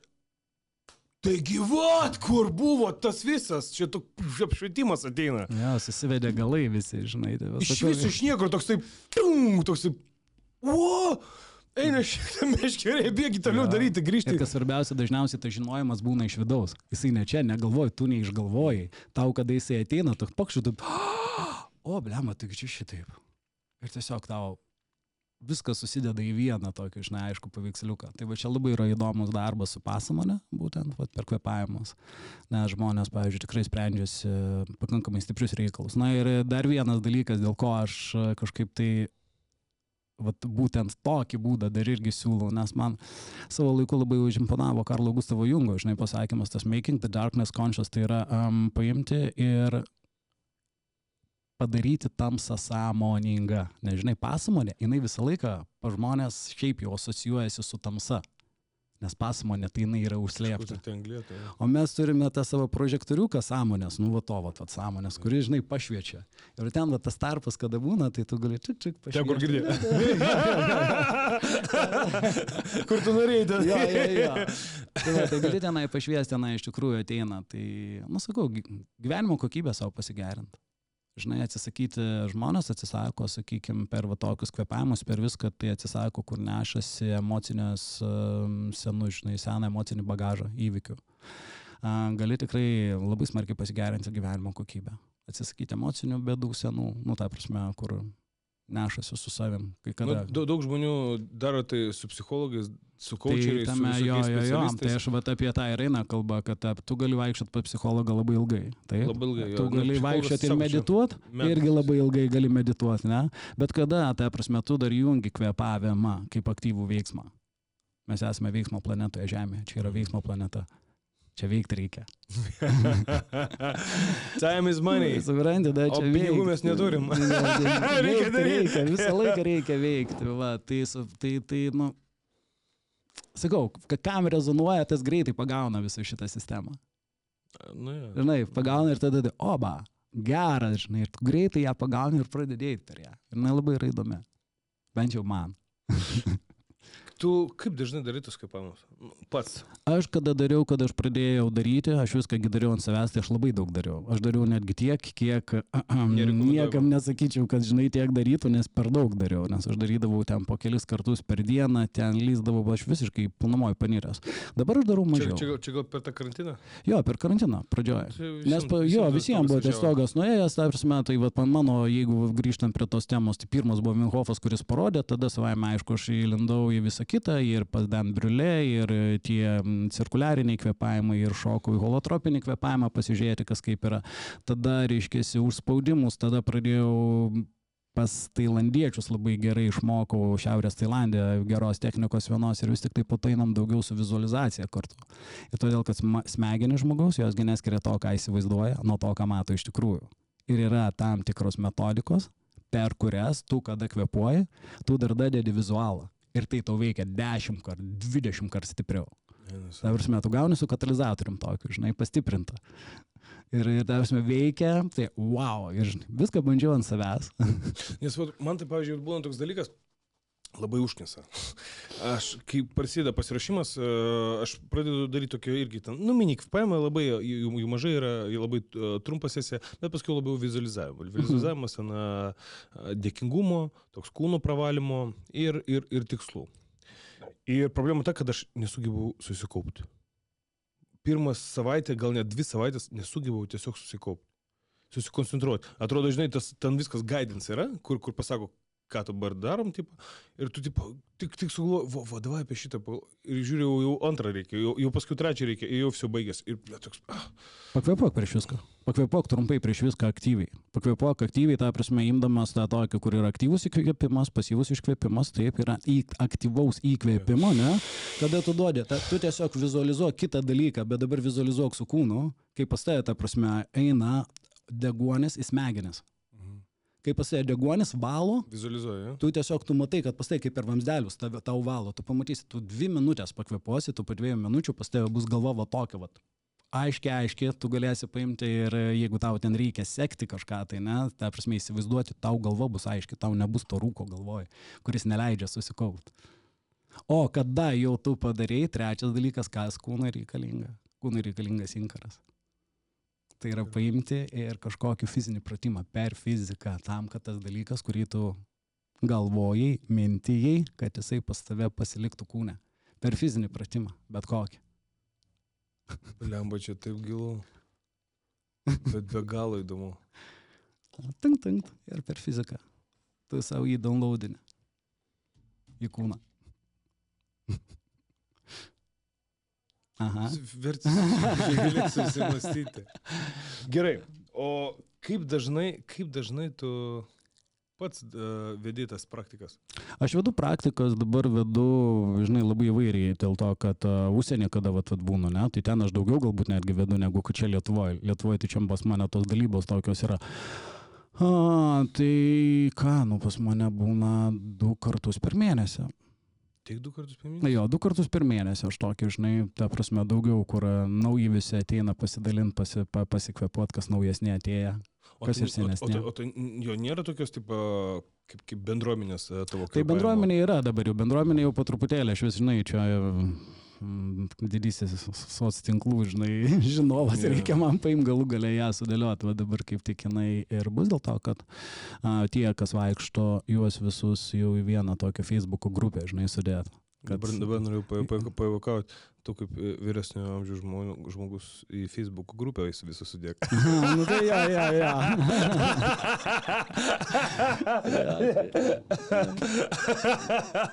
ne, nu, bet iš tikrųjų. Tai ir paskui ta, bendruomenė ir auga ir, taip, ir, ir, ir, ir tie žmonės, kurie, kurie, žinai, kurie gauna tuos benefitus. Benefitus nuo, nuo, nuo to praktikų, nuo bendravimo, jie vis tiek norės dalintis. Jie Ir norės jo. Ateik pasižiūrėk, pasiek jį, žinai, kas, kas, Ir- kas, kas tai vyksta, žinai. Ir labai pat, patiems žmonėms, žinok, reikalingas tas yra, todėl kad su kvepavimo praktikom labai yra įdomus dalykai, pavyzdžiui, su jom visą laiką yra kaip ir vipasanai, pavyzdžiui, ne, kaip meditacijai, sakykime, kada tu eini ciklą, tai yra, su, yra povandeniniai tam tikri dalykai. A, visų pirma, per vidurį, kada jau atrodo, tu eini, eini ir va čia eisi ir staiga pradeda atsiranda sabotažas. Tipo, visą laiką atsiranda savo, ai, nu tai gal ne dabar, gal čia, ai ką aš čia darau, tai gal, papi, mm, ai, nu ne, po 15 minučių padarysiu, dar ten, vat, vis atidėliojimai atsiranda. Ir tada pradeda kristi ir daugelis žmonių, pavyzdžiui, namų darbus, kurie tipo įsikvepavę yra visą tą, jie turi kursą, kurį daryti, žinai, jie nedaro namų darbų. Nedaro. Nedaro dėl to, kad, ta prasme, jiem reikia to, žinai, stebuklingo pendelio. Stebuklingo be- O būtent aš irgi save žinau, kad jeigu laisvo periodu, uh, vat nėra, vat, vat, pavyzdžiui, datos, kad už, už mėnesių bus, ten už penkių savaičių bus varžybos. Aš savęs niekaip nepriversiu daryti papildomų darbo. Kažkur tai pasitem, kažkur tai padaryti ant papildomų ten tempimų ar dar kažką. Aš ieškau, bet aš žinau, kad man kaip profesionaliam atletui man to reikia. Aš Mhm. privalau tai daryti. Todėl aš ieškau trenerių, kas galėtų man tą pendelį duoti. Ir aš geriau iš, iš, nors aš galiu nusileisti į apačią laukia, nors gerai režisuoras, aš ten Mhm. visą, viską pasidaryti, tai- nes aš žinau, ką man reikia daryti. Bet aš važiuosiu į kitą miesto galą, tremsiu per tos kamščius, rengsiu ten, eisiu, mokėsiu ir darysiu su treneriu, kuris prižiūrės, Mhm. pasakys, daryk. O, nu yra taip žmonių. Žmonės Yra. tokie, tokie, nu tokie padarai. Ja, nesako, yra vieni, kurie gavo tik tai ir varo, daro ir po to tik tai žiūriu, wow, va čia tai žiūriu, eina. Ir eina kaip, nežinau, kas, kaip kosminiai laivai kažkokie. Tai... Ne, bet, bet dažnai būna taip, kad kai žmonės jo, kurie jau taip užsikabliuoja, užsigauna, vis tiek paskui jie kažkokį lygį pasiekia, jie paskui, jūs vis, arba, arba jie konvertuojasi, vot, į mokytojus, patampa mokytojais ir dalinasi su, su, su kitais, arba jie iš viso atstumia viską. O žinok, aš to pasakysiu, yra du, du momentai. Man atrodo, vienas tas atstumimo, kuris būna, Jo. tai tipo, ai, nu, nebeįdomu, žinai. Toks būna pasakymas kažkoks, tai labai dažnai. Arba, ai, čia supranti, va čia, reikia gyventi, čia kažką tai dirbti. Nu, susiranda šimtą tūkstančių. Kas perina ir pradeda dalintis praktikomis, tai galiu dar pasakyti dar vienas, kame yra bairis, todėl kad kada tu pradedi dalintis, tu nori, nenori, tu pats toliau darai. Ir Taip, tu tai tobulėjai toliau. Tai Ir tu dar eini. Geriausia mokytis yra mokyti kažką kitą. Supranti, ta prasme, kada ir tu darai toliau, ir ta prasme, jau išėjai, ir ten visą laiką, visą laiką tame esi, žinai, ir kada, sakykime, kvepavimas, bent jau dar kitas dalykas, tai mano galva jis yra labai universalus. Universalus todėl, kad mes panosimi turime visą laiką, va, agregatą savo panosim, ne, ir tiesiog tik tai pagal įkvėpimo greitį, pagal tai, kaip tu savo dėmesį vidui diferencijuoji, ne, į kur tu atkreipi bekvepuodamas, tu gali belenkiek daryti skirtingų technikų ir tiksliau sakant, ne tai, kad technikų, technika galbūt ne tas būtų žodis, e, gauti skirtingus rezultatus, rezultatus su savim. Tu eini į skirtingas būsenas. Nu žiūrėk, ta prasme, imkim paprastus dalykus. Žmogus, sakykime, okei, okay, eina gert, ne, dar ką nors yeah. tokio. Jisai, kodėl, todėl kad jisai būna kitoj būsenoje, kada pavartoja, ne, kažko yeah. tai. Taip, ten kitas, e, nežinau, dar kažką tai daro, supranti, ir visi būsenoje, būsenoje, būsenoje. Visi kažką, kažką Tu gauni tam, kažkokią būseną. būseną. Jo. ir dabar, paprastai. Jo, vaistai paprastai. Yra, jo, chemija, vaistai. Tabletė, tu bet kokia, jo, tau va, galvas skaudėjo, tau buvo blogai, viskas, tu išgeriai tabletę, tau nebeskauda galvos, tau pasikeitė būsena, ne? Lygiai tą patį viską mes galim daryti su kvepavimu. Tiesiog galim tą daryti. Todėl, kad kada tu žinai, kaip tenai viduje ant tiek yra įdomu, ten ant tiek procesai kitaip keičiasi. Ir, pavyzdžiui, dabar pastaruosiu um, keletą mėnesių, daugiau netgi negu keletą mėnesių, labai įdomią dabar atradęs ten giluminę temą iš viso um, su kvepavimu susijusią. Nu, Tai yra apskritai yra mitochondrinė medicina, yra toksai dalykas, kuris, nu, toks, sakykime, dar mokslas visas taip žiūri, mato, tyrimai padaryti, skirtumas, žinai, yra, bet tai yra tai, kaip mes veikiame mitochondrijos. Mitochondrijos yra mūsų lastelėse, reiškia, energijos gamybos fabrikėliai. nu, ne? nu. Tai dar prasme, su, kaip tvarkyti su mitochondrijomis, kad, reiškia, kad mitochondrijos būtų šviežios, galingos, taip, ir ta- tai, tai apskritai, dėl to, kad tai apsprendžia mūsų amžių, tai apsprendžia tai, kaip mes jaučiamės, suprantate? Ta prasme, tai ten ant tiek yra įdomu. Man Ir atrodo, tu- visa tai yra hipoksija, ir tai yra kvepavimas, ne, ta degonijas badas, kaip su jo pagalba, kaip tą daryti, ta prasme, intensyvę, trumpalaikę hipoksiją, ta prasme, kaip su viskom tuom žaisti, pasodinant save ant degonijas bado, taip, kaip atnaujinti iš viso ląsteles organizme. Nu, ten iš viso įdomu, žinok. ja. Tu, man atrodo, naują sėkėją gavai. Nu, žinok, ten Tai įdomu. Ten, ten ant tiek yra įdomu, dar pa- ir labai greitai tu gauni tą būseną. Tu va, truputėlį pakvepavai, pakvepavai ir tu jau jautiesi sekančią dieną visai kitaip jautiesi. O, žinai, kaip sakoma, kad uh, mokytos ateina tada, kai mokinys būna pasiruošęs. jo, žinok, yra tie dalykai, tai yra iš tikrųjų aparatai, mm, yra netgi mm, padaryti aparatai, kur ten tokie jau, kaip pasakyti, labai išmanus, kurie mm, ten jau paruošta anglės dvideginio ir degonės, reiškia, koncentracija Mhm. mhm. skirtinga, žinai, davinėja. Jo. Bet galima net ir be to, galima paprastesniais tokiais būdais, kaip ta vadinamoji aukštikalnių treniruotė, tik tai ją kitaip daryti, ją daryti intensyviau ir trumpiau. Bet čia, čia, šitam. Čia, šitam. čia, jo, čia gali padaryti, čia, ta prasme, tu gali per valandą laiko pasidaryti trefkę tokią, kad liktai tu būtum dvi savaitės e, kalnuose. Nu, bet vis tiek tokio rezultatų negausi. Nu, žinau, gauna rezultatus. Ta prasme, jeigu žiūrint pagal tai, pagal kraujo rodiklius, nes, ta prasme, jei, kada ėjome mokslininkai, vad, kuo aš remiuosi, tai galėsiu aš tau linką atsiųsti tiesiog, kad čia tušiai, žinai, nekalbėt, pats pasitikrinsi. Tai tenai yra apie tai, kad jie ėmė kada kraujo rodiklius, tai skirtumas yra. Ta prasme, Bet, toks, o, kad o, tu bet ant kiek jis ilgalaikis? tiek, kiek tu darai. Kiek tu darai, pas Ta, tave ta, nėra. to. ta prasme, Jeigu tu pastoviai treniruojas- A, jeigu pastoviai tu Jo, jeigu tu pastoviai treniruojas, ta prasme, iš pradžių tau reikia daugiau, kad tu pa, paimtum, pakeltum, sakykime, ateitų ta kritinė masė vadinamoji, Mhm. pačioj pradžioj, o paskui nedaug, paskui palaikymas tik tai. Ir visą tu tai darai. Nu, aš darau, aš į šitą patį dabar landžiu labai gilin, aš ten dar nagrinėju. Dar, dar expert level. Nu, ne, nepasiekei. ne, ne, ne, ne, žinai, ten, ten įdomu yra, ten yra labai įdomu. Įdomu dėl to, kad šalutiniai, po, šalutiniai poveikiai irgi labai įdomus. Nu, tiesiog tu visą laiką esi tokiam, žinai, kaifė savotiškam. Klausyk, dar tokį dalyką girdėjau. Kad mes, e, mu- mums būtina įkvėpti ne dėl to, kad mums degonės trūksta, o todėl, kad pas mus dvigo degonio per daug organizme būna. O kodėl žmogus kaip kaipuoja, kaipuoja, kaipuoja, paskui išpučia ir nustoja kaipuoti. Mm, Todėl, kad degonės per daug nereikia, nes galiu apsinuodyti degonėmi. A, Paskutinis tyrimas vėlgi apie ilgamžiškumus, ne apie viską. Pa vienas iš paskutinių tyrimų tikrai jau šitą esi girdėjęs apie tai, kad kalnuose žmonės gyvena, ten aukštikalnės, grinas oras, visi ilgamžiai tenai, visi, ne, ten kalnuose kažkur tai, kur gyvena. Tai pasirodo ne dėl to, kad tenai grinas oras ir jie tenai daug labai vaikšto, o dėl to, kad yra išretėjęs degonės kiekis. Tam tikrame aukštyje yra išretėjęs degonės kiekis ir mm, mes gauname mažiau degonės.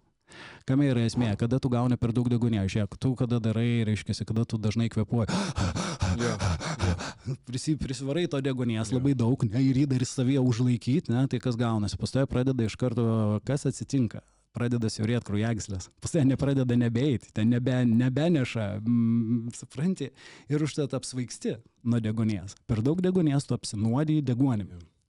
Anglės dvideginis ką daro? Kada yra daugiau anglės dvideginio, e, iš, iš karto duoda kraujagyslėse mūsų, kapiliaruose, duoda, reiškia, signalą, kad, ei, come on, trūksta čia degonės, ne, tipo, Jo. ir pradeda tau kraujagyslės plėstis visos. Tai čia žmonėms, pas kuriuos būna nepamaitina kraujotaka, dabar paskutiniai, a, tuoj pasakysiu, prieš kelis mėnesius, va kaip tik skaičiau, ir buvo apie tai, kad jeigu daroma tokia treniruotė, taip, kad iš karto biški duodama degonės, paskui reiškia ant tokio bado, tai netgi formuojasi nauji kapiliarai ten, kur reikia, net formuojasi nauji kapiliarai. Dar su tais kapiliarais ten irgi yra su tam tikra mytyba. Viena iš tokių teorijų yra, žinai, skamba labai gražiai, skamba labai logiškai. Ir iškės viena iš teorijų labai įdomi yra, kad galima daryti kraujagyslių mankštą prieš tai, aišku, valgant tam tikrą maistą dėl to, kad a, visų pirma, kas pas mus kalkėja kraujagyslės, taip Mhm. mhm. žmonės. Tai žinai, kad tos kalkės a, atitrūkusios ten neužkimštų tau ko nors, tai pradžioje jas biški patirbdyti reikia, o paskui per kvepavimo pratimus tu gali daryti, kad tavo kapiliarai, kraujagyslės jos susitraukia, įsiplečia, jas mankštinti. Po truputį mankštint, suprantate, ta prasme, kad jos nebūtų susisenėję vamžiai. Žiauriai įdomu. Na, nu, žinok, tai yra labai įdomu, nes žmogaus organizmas, sakau, ten, kada pradedi landžiot gilintų, wow, geras, žinai. Mes turime ten evoliuciją, žinok, visko prislėpta, turime tiesiog tas kunelis, jisai pasirodo moka ten visokių bairių. Ten, tiesiog jį galima taip ištreniruoti, pasižiūrėk, na, aišku, aš nesakau, kad um, kaip jogas ten kažkoks, kur ten, žinai, 200 metų gyvena ir 300, kur ten sako, šitas tai nemirtingas, ne, aš nekalbu apie tokius ir dalykus, bet aš kalbu, kad mes tiesiog gyvenime galim uh, savo pasidaryti taip, kad nu, mes funkcionuotumėm ilgiau laimingai ir džiaugsmingai, nes viskas yra gyvenimo džiaugsmas. Čia, kai visą laiką yra, žinai, sakoma, tos Jeigu koordinatės paim pasižiūrėti koordinačių sistemoje, va žmogus gimsta, ne, ir iškės tai pas vieną ten gyvenimas yra, jisai, tipo, gyveno, gyveno, gyveno, ten nu kažkiek tai jau čia biški serga, taip, tai taip ir išgyveno šimtą metų, ne, va šitaip, jo, ten. O kitas, vienu žodžiu, visą laiką gyveno, ten belenkaip ir irgi tą šimtą metų išgyveno. Nu tai kas geriau? Tai aišku, geriau tas, nes jisai visą laiką pas jį buvo, nu, tu buvai funkcionuojantis normaliai. To esmė ta, kad funkcionuot, tai mažyčių tokių vat, visokiausių yra, kaip pasakyti, apgauti tą biologinę mašinytę, žinai. Dabar va, jo vardą. Vardą, va, pamiršau. Buvo Rusijai. Senoji Rusijai, man atrodo, dar, dar e, tarpukario metais. Toks rusas. Į- Jef- Jevtichij. Ne, ne Jevtichij, kažkaip kitaip. Aš paskui galėsiu pasižiūrėti, Mhm. mhm. aš nuotrauką čia įmėsiu. Uh, jisai buvo propaguotojas šalčio. Buvo tokiai long story short, Jo, short, long story short. Uh, jisai buvo vienas iš tokių darbiausių mužikų tam kaime ir vis tiek jisai ten nusigėrė, viskas pas jį ir blogai, žmona išėjo, ten viskas buvo labai labai, labai prastai. Ir jisai galvojo, nafik man toks gyvenimas. Jis sako, pasikart, kažkaip sako, nekrikščioniška, sako, eisiu pasiskandinsiu. Mhm. Ir jisai vieną žiemą, sako, išėjo į kažkokį prūdą ar ežerą ten prie, sako, nu, į, sako, viso, šoku į ten. Ir jisai iššoko iš to vandens. Toks, tipo, visas buvo, puf, nesugebėjo išbūti tam vandenį, iššoko. Puf, ir sako, grįžo, kažkaip, nu, tokia pagerėjo. Mhm. Sako, ir viskas atrodo, daug fainiau atrodo. Sako, nu ne, grįžau vis tiek paskui vakarė tą, tą būseną, sako, o bet rytoj eisiu, tikrai sako, viso, užbaigsiu šitą reikalą. Jisai nuėjo dar kartą, iššoko į tą vandenį ir jisai nebenorėjo iš išlysti. Mhm. Dabar man tai buvo gera.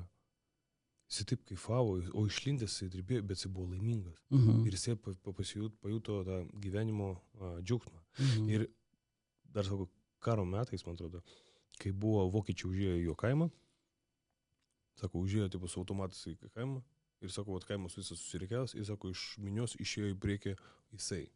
Minus 25, ten gal 35, nežinau, o jisai tik po šortais. Basom ant sniego, drovas, su tokia barzda ilga. Ir jie vokiečiai nesupratė, kas čia įvyksta, sako, gal čia, žinai, Vipendrivica kažką.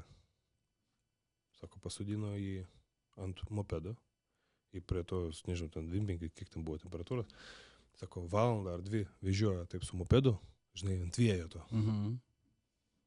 žiūri, kad jisai nifiga nenustipta, nesušala.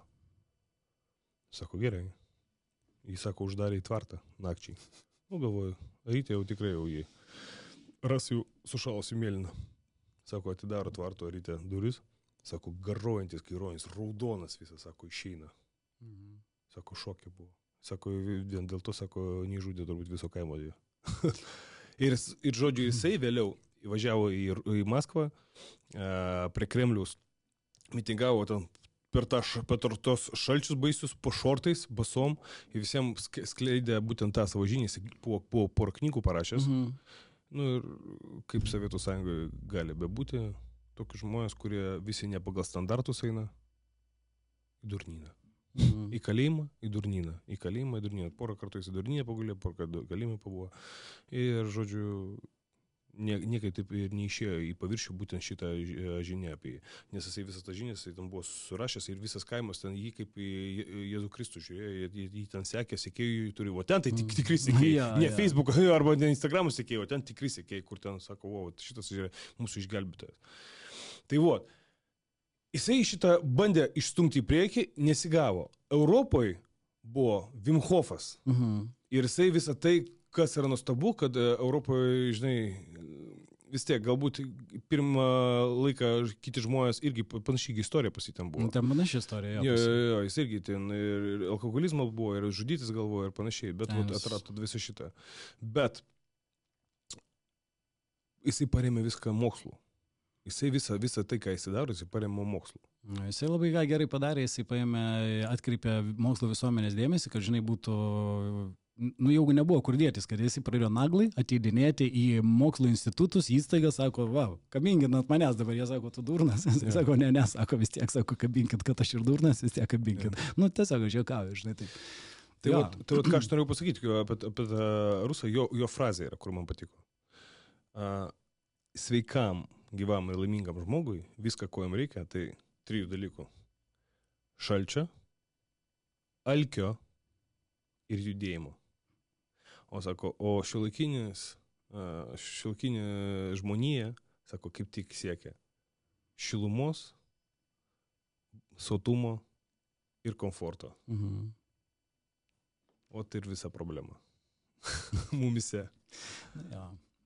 O tai, Galima ir taip pažiūrėti. Bet, vat, kalbant apie, apie alkį šaltį, dietą, Mhm.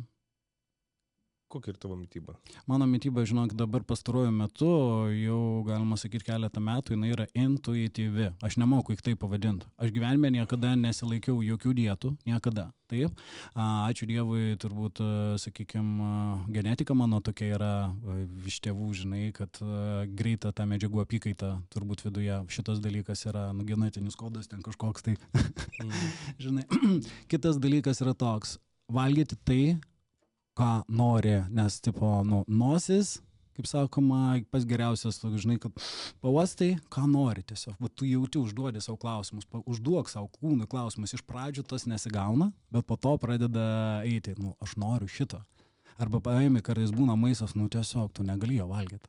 Atrodo geras, normalus maistas, šiandien aš jo negaliu valgyti, nes jo nepasisavins.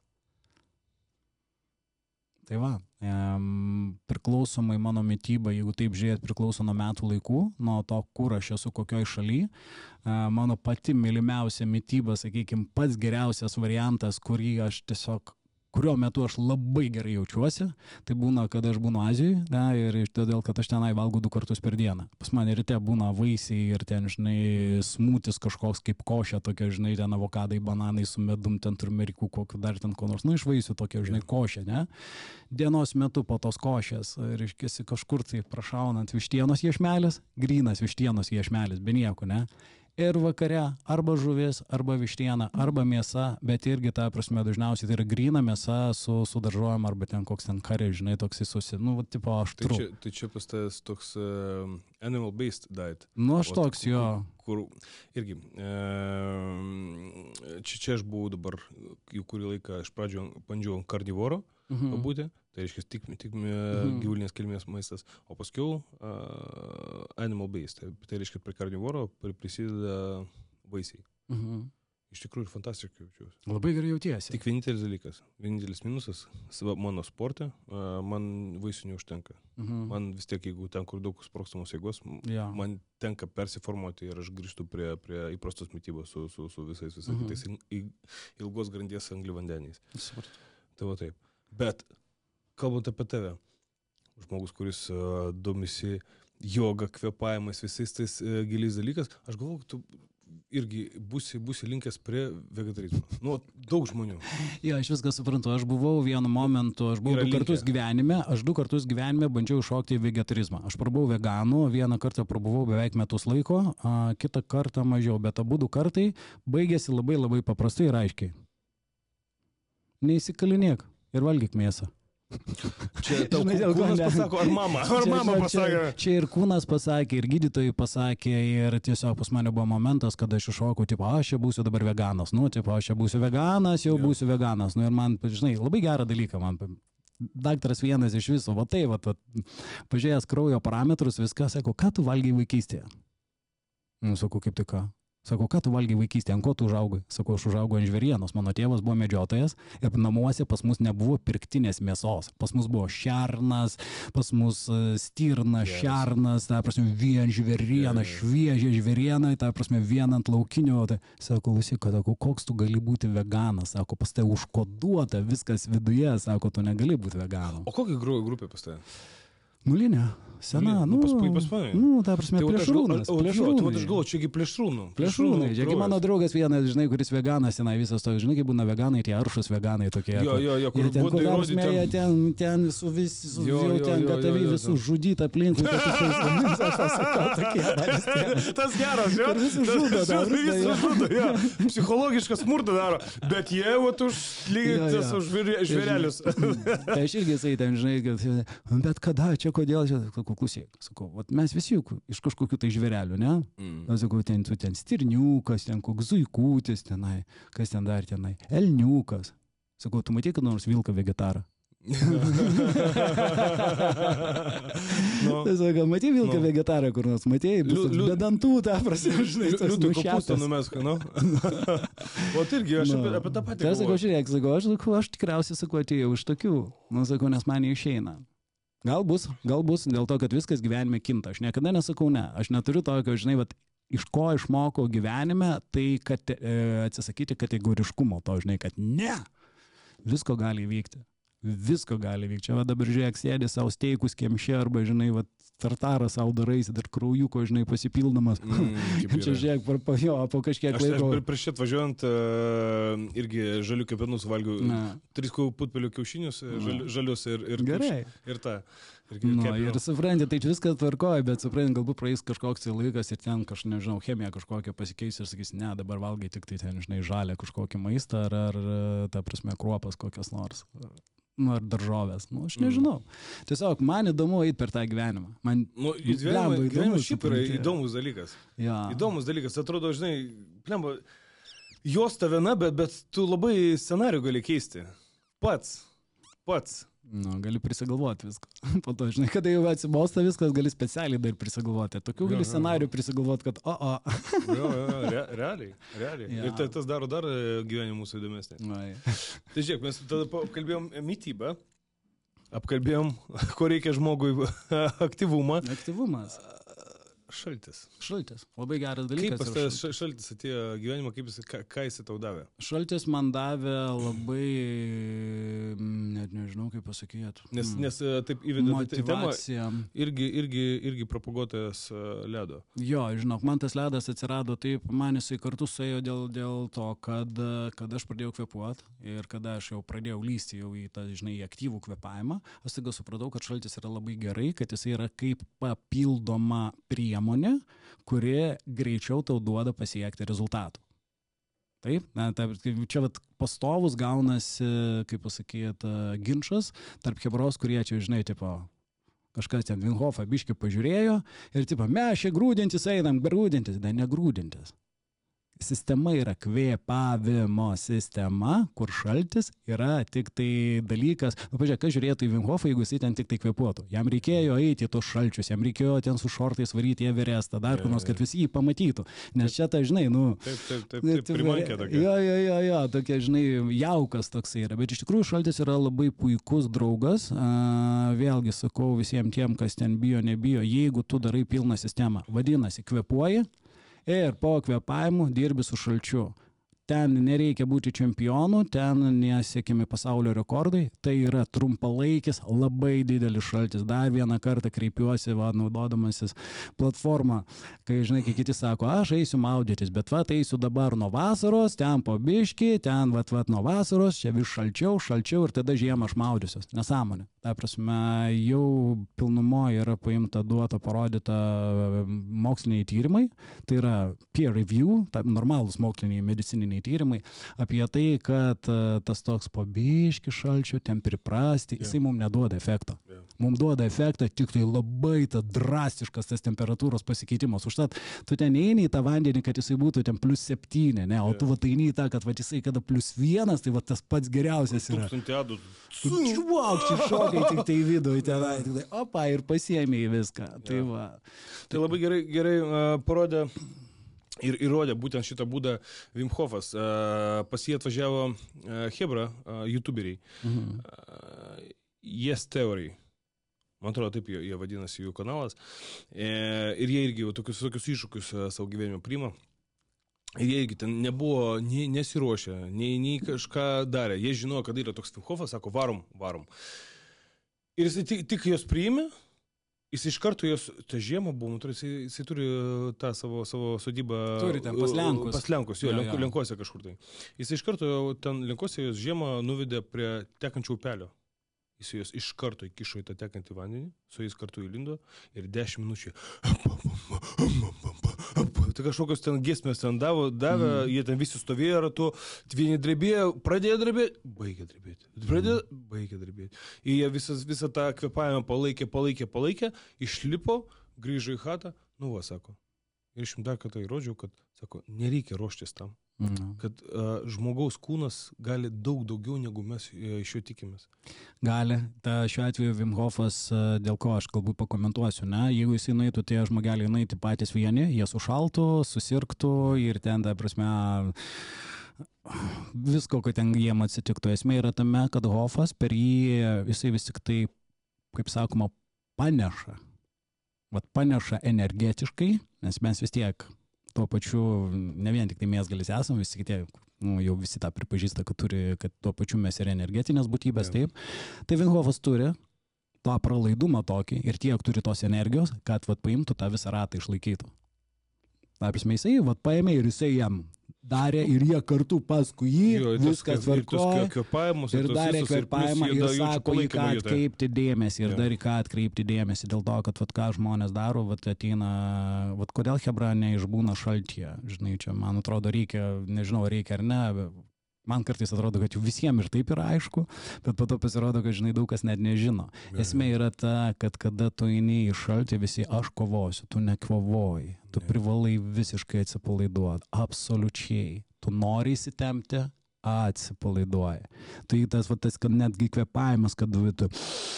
Tu įkvėpė, su, pasai ilgas eina iškvėpimas, kur tu visiškai atsipalaiduoji, absoliučiai atsipalaiduoji tame šaltyje, viskas.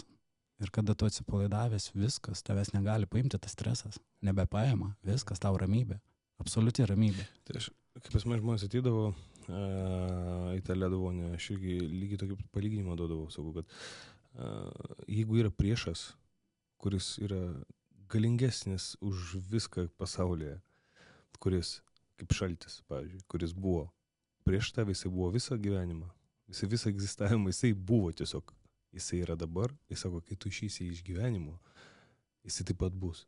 Tai jeigu priešo neįmanoma nugalėti, reikia su juo draugauti. Taip. Taip. Sako, atsidok, būk čia ir dabar. Jeigu pamatysi, kai tik iškveipinėsi, kai tik pradėsi atpalduoti raumenyną, nustosi priešintis nenugalimam priešui. Viskas. Jos tos adatos kūne ištirpsta. Mm. Viskas atsidaro. Jo.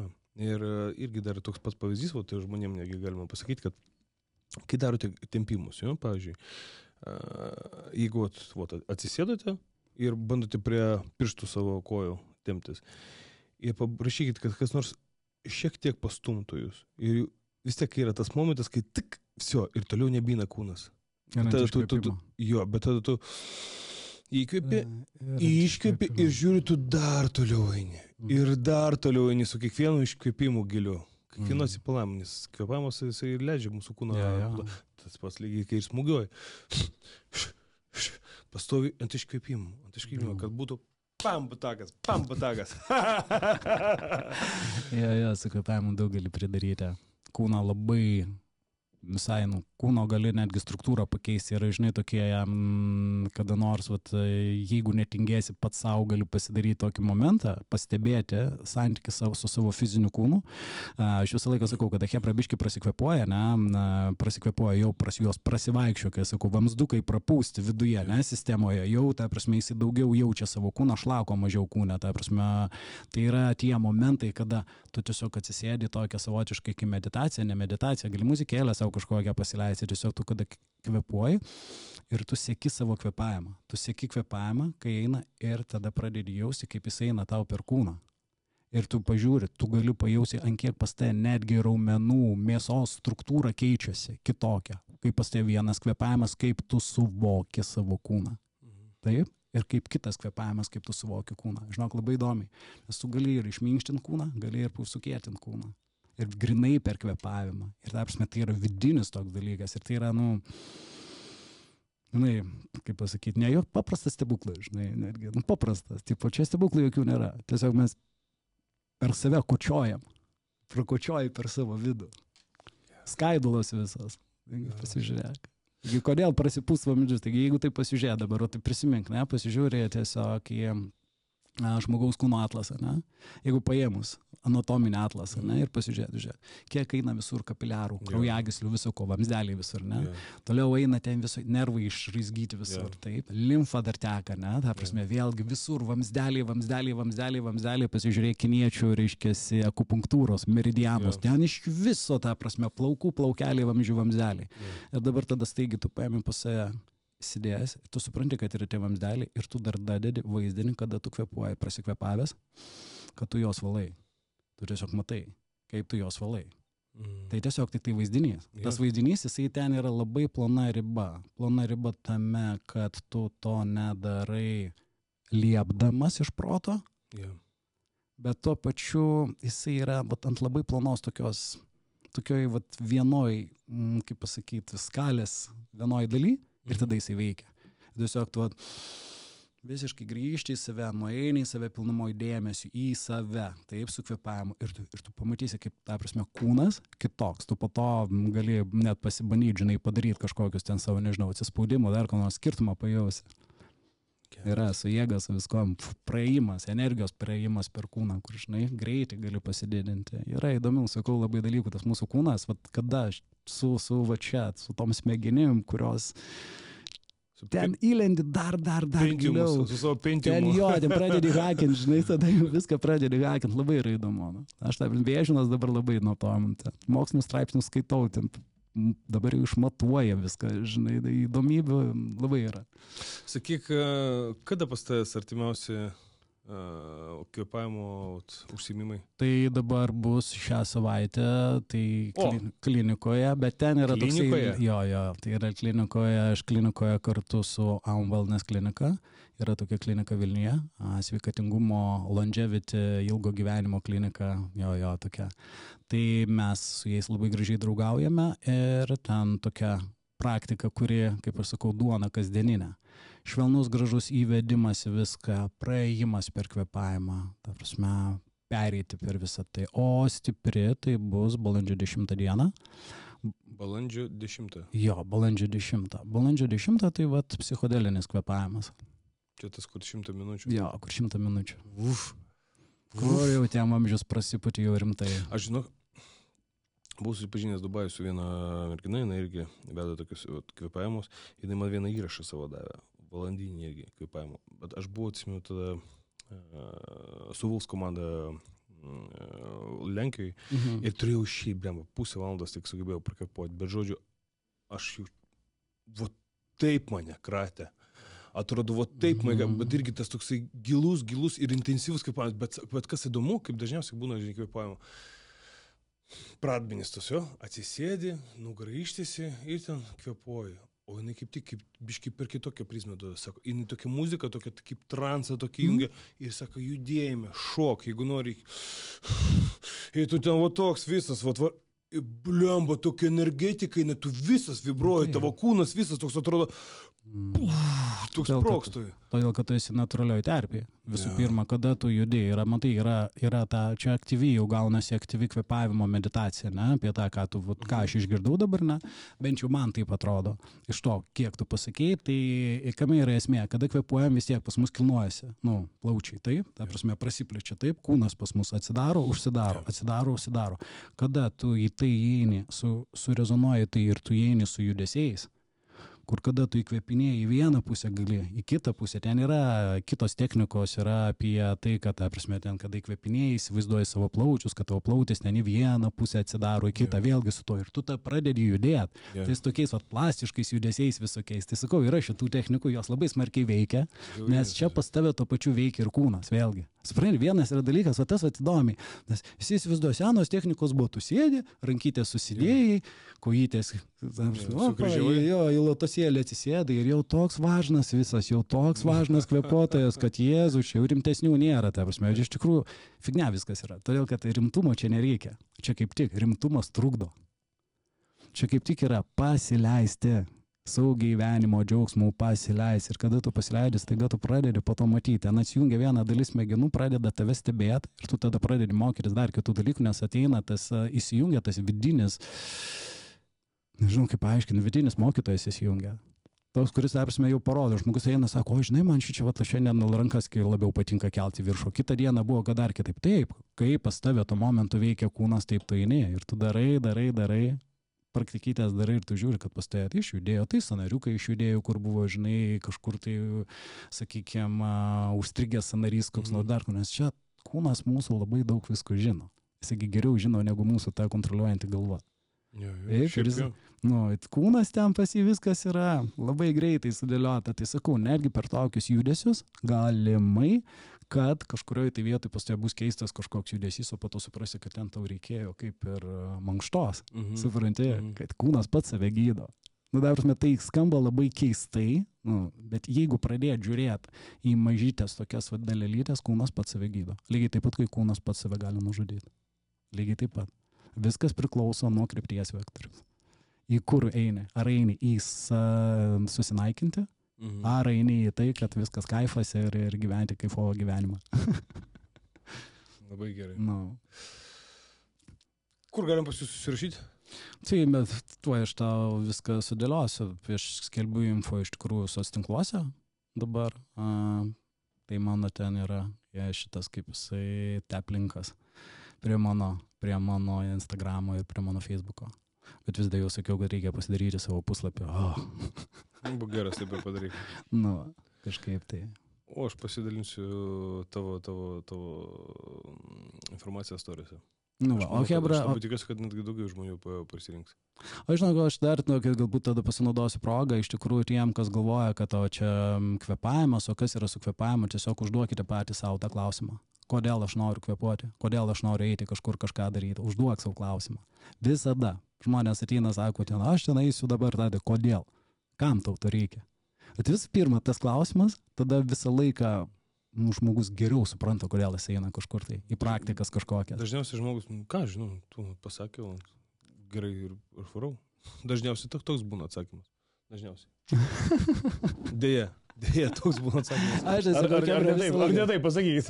Na, ar ką tai, ta, visą, tada eina tegul eina, tada pabando ir tegul atsimena visą laiką vieną paprastą dalyką, nieko čia nėra rimto. Viskas yra per lengvumą, per kaifą, per džiaugsmą, dėl to, kad mes atėjome į šitą pasaulį džiaugtis. Esmė yra tokia. A, didžiosios religijos daug kur, žinai, sakome, aš čia kalty, čia tos, senos, nesąmonė, briedas, čia pats didžiausias briedas. Mes atėjome čia tam, kad būtumėm laimingi. Taip, mes atėjom čia kaifuoti šitą pasaulį. O jeigu tu nebūsi laimingas, kaip tu galėsi kitą laimingą padaryti? Na nu, tai va, tai dabar mes tai va, kebra, kaifuojam, maudomės, džiaugiamės, kvepuojam. dar dar e, porą, porą klausimų.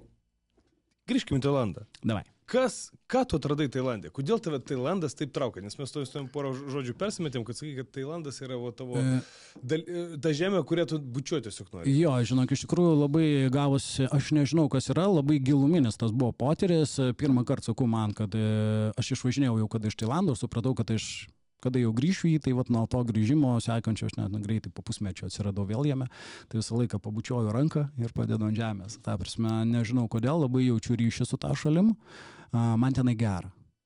Aš atradau kažką, kažkas man tenai tiesiog yra gera. Man maistas patinka, man patinka žmonės, man patinka, nu tiesiog man viskas patinka. Nu aš nežinau kodėl, žinai, tiesiog, nu, kada, mm, nu tokia, žinai, mm, nu, vat labai savo kažkas tai tokio, aš negaliu, aš, tą- negaliu aš paaiškinti. Pilnai jaučiu, nes aš pats ten taip jaučiuosi. Nu, ten, ta prasme, man tenai viskas gerai, man, man ir tas gerai, kad atrodytų kitur, sakytų, fu, šūdas kažkoks, bet čia man tas ir tas šūdas gerai, žinai. Jo, ten netgi ten gatvėje, kai tai kai pasmirsta, tai štai tai jo. kanalizacija Faina visko. Ir tas faina Gerai, būna. Faina, viskas. Ir tas faina. paprastumas tas fainas turbūt. Jo, Ja. man patinka. Man iš tikrųjų patinka, aš ten labai gerai jaučiuosi. O ką tu ten veikiai apskritai? A, pas mane Tailandė buvo oi, daug visko, nuo to gyvenimo vienuolynė, nes aš savo laiku pakankamai ilgai prabuvau vienuolynė ir um, devynis mėnesius beveik, nu kaip ilgai, neilgai, bet a, a, jo, ta prasme ir tenai mokiau, meditacijų buvo assistant teacher netgi, man jo, meditacijos vipasanas. Nuo šitų dalykų iki to, kad, a, nu, U, Tailandė pas mane, aš tenai ir dirbdavau, ir su žmonėm, ir su kvepavimais, ir su tuo pačiu šalčiu. Ten viskas taip labai įdomiai gavosi, keistai, kur aš niekada negalvojau, kad aš tai darysiu. Žinai, iš- aš tai galvojau, kad aš visą laiką tai darysiu tik tai savo. Aš niekada negalvojau, kad aš dalinsiuos. Tai vat viskas Tailandė faktiškai ir įvyko tas pokytis, žinai, didysis. Kada mane pradėjo tiesiog prašyti, kad uh, aš pamokyčiau pradėjo eiti iki to ir tada jau aš jau pradėjau jau žiūrėti viską, kad jau reikia gerai, reikia dar ir daugiau, žinai, padaryti. Tai viskas prasidėjo nuo Lenko tokio, galiu pasakyti, todėl kad aš kai pamačiau, kur atsivedė grupė Winghoferis ir jisai, aš, Winghofo instruktorius, atsistojo toks. Ten kažką tai. Aš žiūriu į tie žmogeliukai pasimetę, suprantate, žmogeliukai pasimetę, jisai juos atvedęs prie šalčio ir jisai rodo. Jo, šitą girdėsiu. Jie tokie visi, žinai, kur rodo, tipo, kas yra tie. Nieko žmogui nepaaiškino. Aš šonė, taip, aš matau juos, jie ten panikoja, juos jisai grūda į vandenį ir, tipo, jie, tu lohas neišbuvai vandenį. Na, suprantate, tą prasme tokie, na, ir aš toks... Žinai, toks, nu, tipo, what? Ir čia jisai kažkoks ten kažkokio lygio instruktorius, žinai. tai va, ir Čia po to stipriai. viskas taip prasidėjo, jo, ir prasidėjo po truputį. O tu pats kiek vandenį išbūni? Aš, Nu, bet- žiūrėk, pas mane dabar taip yra, aš nebūnu, taip, aš nebeskaičiuoju pakankamai seniai, kada buvo ta šaltoji žiema iš 20 tų į 21, kada buvo ta šalčio žiema, geroji, pirmoji, ne? Mhm. Tai aš tada sėdėdavau, palauk, šitą ir sekančią žiemą, nes aš abi dvi gyvenau per tos karantinus lietuviškus, gyvenau prie, a, prie ežero, tai lipdavau į eketę visą laiką man, šimtas metrų nuo durų buvo, ne? Tai buvo du momentai. Jeigu aš noriu atsigauti, mano rytinis prieš važiavimą į miestą, jeigu ten dar ką nors, tai mano tas toks dvi minutės kažkur, tai žinai, dvi, trys minutės, toks at, paprastas. Jeigu yra minčių palėpė, proto palėpė ir tenai galvoja, jeigu bardakas didžiausias ir ten minčių belenkė, klykia, rėkia, visa galva Mm. tenai būna, pažinai, būna Mm. momentų. Kiek čia mes besakytume, čia nereikia aiškinti, vis, Mm. visus būna. Visus. Ir ta prasme, tada nuo septynių minučių, nes ant septintos minutės kažkur mane pradeda jau tada išlyginti. Nu, ta kreivė, va jeigu ta visa bėga kreivė, jinai Mm. mm. vienu momentu ir tylų galvoju, viskas. Septynios, devynios minutės. Pastebėjai irgi tą dalyką, jo? Kai įlipi į tą šaltį, iki pradėjai vat kvepuoti, atsipalaiduoti, pradėjai girdėti tylą. Taip, Į pradėjai mėgautis tylą. taip. Nueini tą visišką ramybę. Ir aš, vat, vat, man tas labiausiai ten patinka. Nu, Bet man tas greičiau, žinau, kad eina. Jau, jau, jau būna kartais po minutės. tai, Ir aš taip guliu, ir taip, ir ten kažką, vaikai, tai matai, kada daug darai, aš jau sakau, šiuo metu tai yra trumpi tokie, žinai, variantai. Bet kada vat, buvo tas, tu manęs paklausai, kai klausimas buvo, kiek tu ten ilgiausiai, Jo, žinai, ilgai. ilgiausiai. Tai pas mane, sakau, va, tuo metu, kad aš labai intensyviai mm, dariau ir, žinai, Jo. mano buvo tas toks, davai, dar, dar, dar. Tai va tada buvo protokolas daug maž va toks. Bet aš, pavyzdžiui, žmonėm, kurie, kas, tipo, su manim ir kažkaip ten pas mane, žinai, su kuo aš dalinuosi, Jo. tai niekam neduodu daugiau negu dvi minutės. Mhm. Nes nereikia. Nereikia. Nereikia, nes užtenka. To gero šalčio gauni, tau dviejų minučių pilnumo Na, užtenka. nu, gerai, o vis tiek, vis, kiekvienas, kiekvienas uh, pradedantysis uh, yra besmegenis ir jisai meta savo visą laiką iššūkius, ir taip, nu, davai, nu, kiek aš čia galiu Jo, išbūti, jo, jo. kiek esi išbuvęs. Aš esu išbuvęs daugiausiai, žinai, kiek 14. Geras. Aš esu išbuvęs 14, bet tai buvo jau, čia buvo šaltyje tame žiaurinėme, kada buvo laukia ten 20 kažkelių šalčio. Geras. Dėl to, kad, a, bet galvos nešlapinau, su pirštinėm, su mėgsta kepurė ir buvau ir ta prasme, tada buvo labai šiltas vanduo.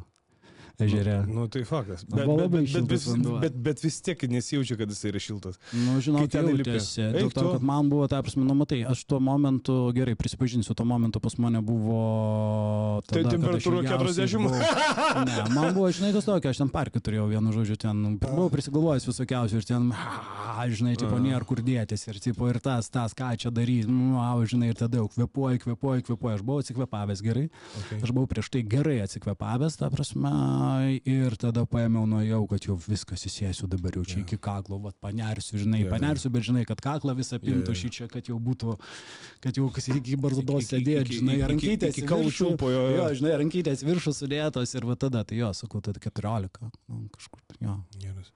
Aš, Sėdėjau. aš, aš buvęs gal septynės, aštuonias, bet kai jau dažnai eidavau, aš būdavau penkias minutės, bet judesi. Mm. Penkias minutės, o tam, o tam pusę laipsnio vandenį, iš rankom kojom, rankom kojom, tu žinai, tas tai iš viso žiau- tikrai. žiauriausiai būna. Ir tada būna netgi 20 minučių praeina po, po viso to, tu jau arbatą atsigeri. Tipo, Ir.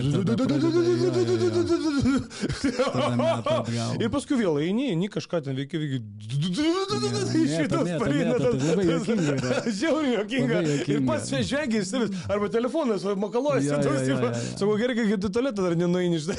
Nugarą, nugarą. Pradeda kratyti visur. Ant sienų.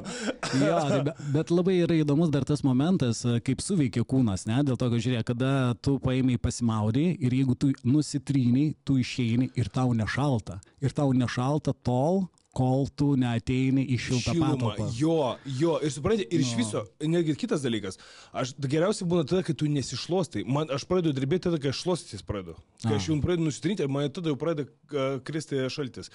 Jeigu aš išeinu ir iš karto pradedu tos kvepavimus daryti ir tą įtempimą, nu, ušilinėti, mm mhm. -hmm. natūraliai. Jeigu aš natūraliai išdžiūnu, tada pas manęs nebūna visiškai to, to, A, to okei. šalčio. O toks dalykas. Supratau, nes aš tai labai gerai tą pamenu, kad nes aš kada prie, prie ežero, kada gyvenau, nu, tipo, tai būdavo taip, eini įsimaudai, nusitryniai su ranklošiu, žinai, apsivinioji ir čia dar vaikštai, ta prasme, išeini Jo. pasivaikščioti, dar pabūt, gražu, nu, miškas, žinai, sniegas, viskas tvarkoja, tik tai greičiau užeini šiltai, tik tai, o biškė šiltai, jo, tik tai kaltėjimas. visas pasės.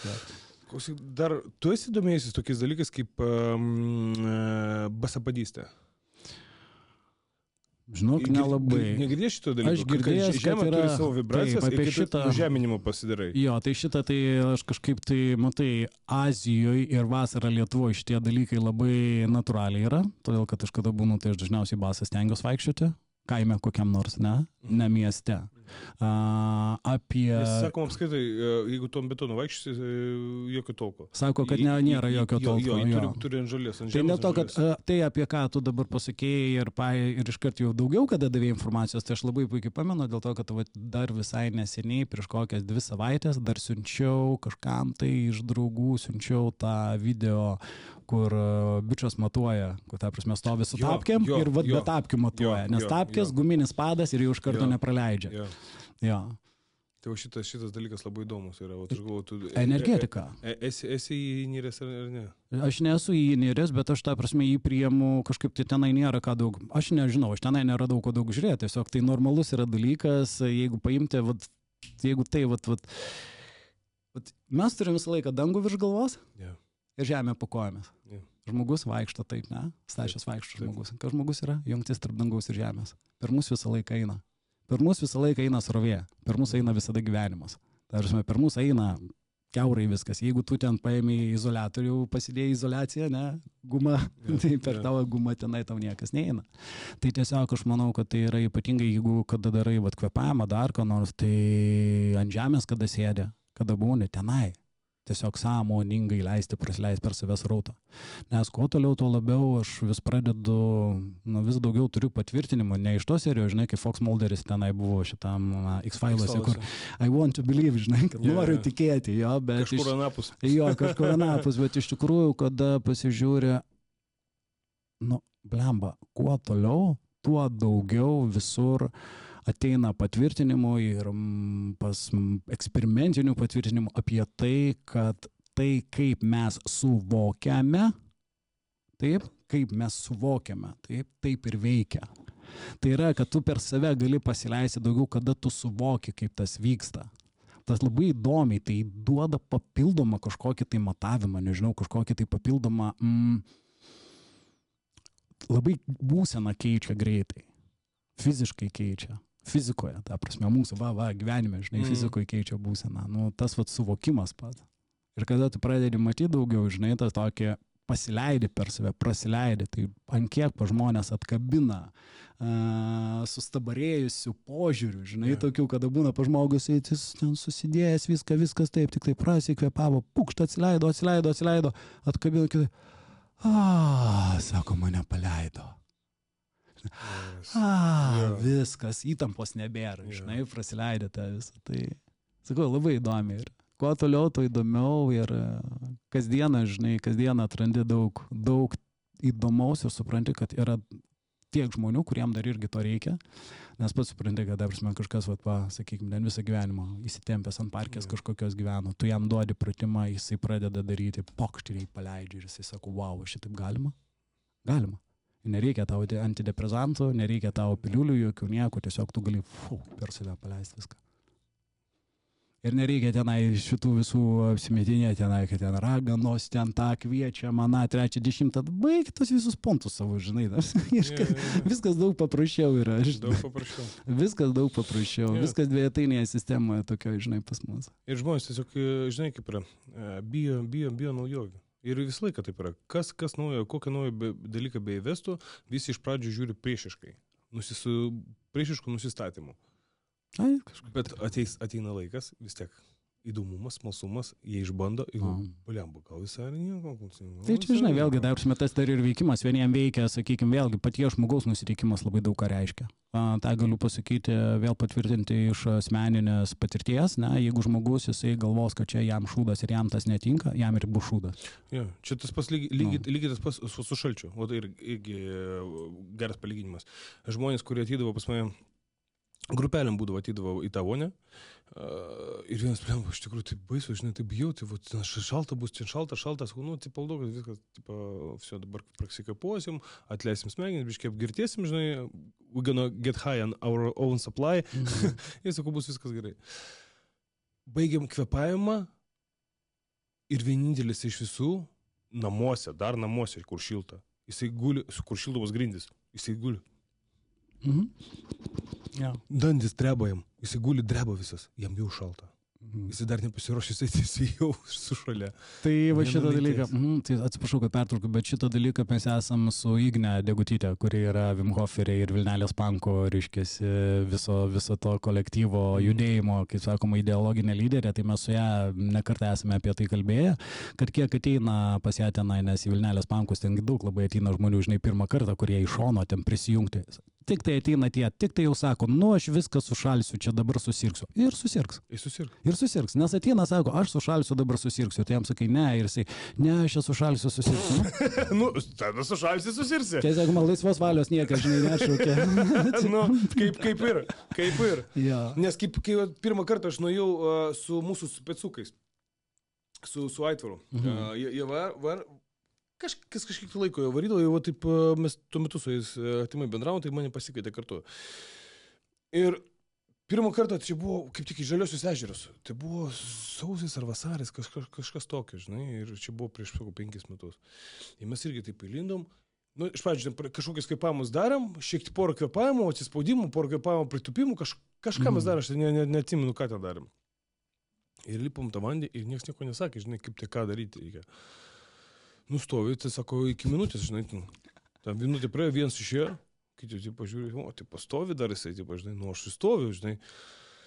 Na, nu, pradeda šaltis kreš, paaiškiai, tuk, tuk, tuk, tuk, tuk. Ir pas mane ta mintis buvo, blem, panesu šalsiu geriau, gal ne, nenoriu sirgti, sakau, varžybos tu greitai bus, tai pasirašymas pradės, geriau reikia įlį, žinai, visu, aš kaip rainu, nu, tai pavaryk varyk, žinai.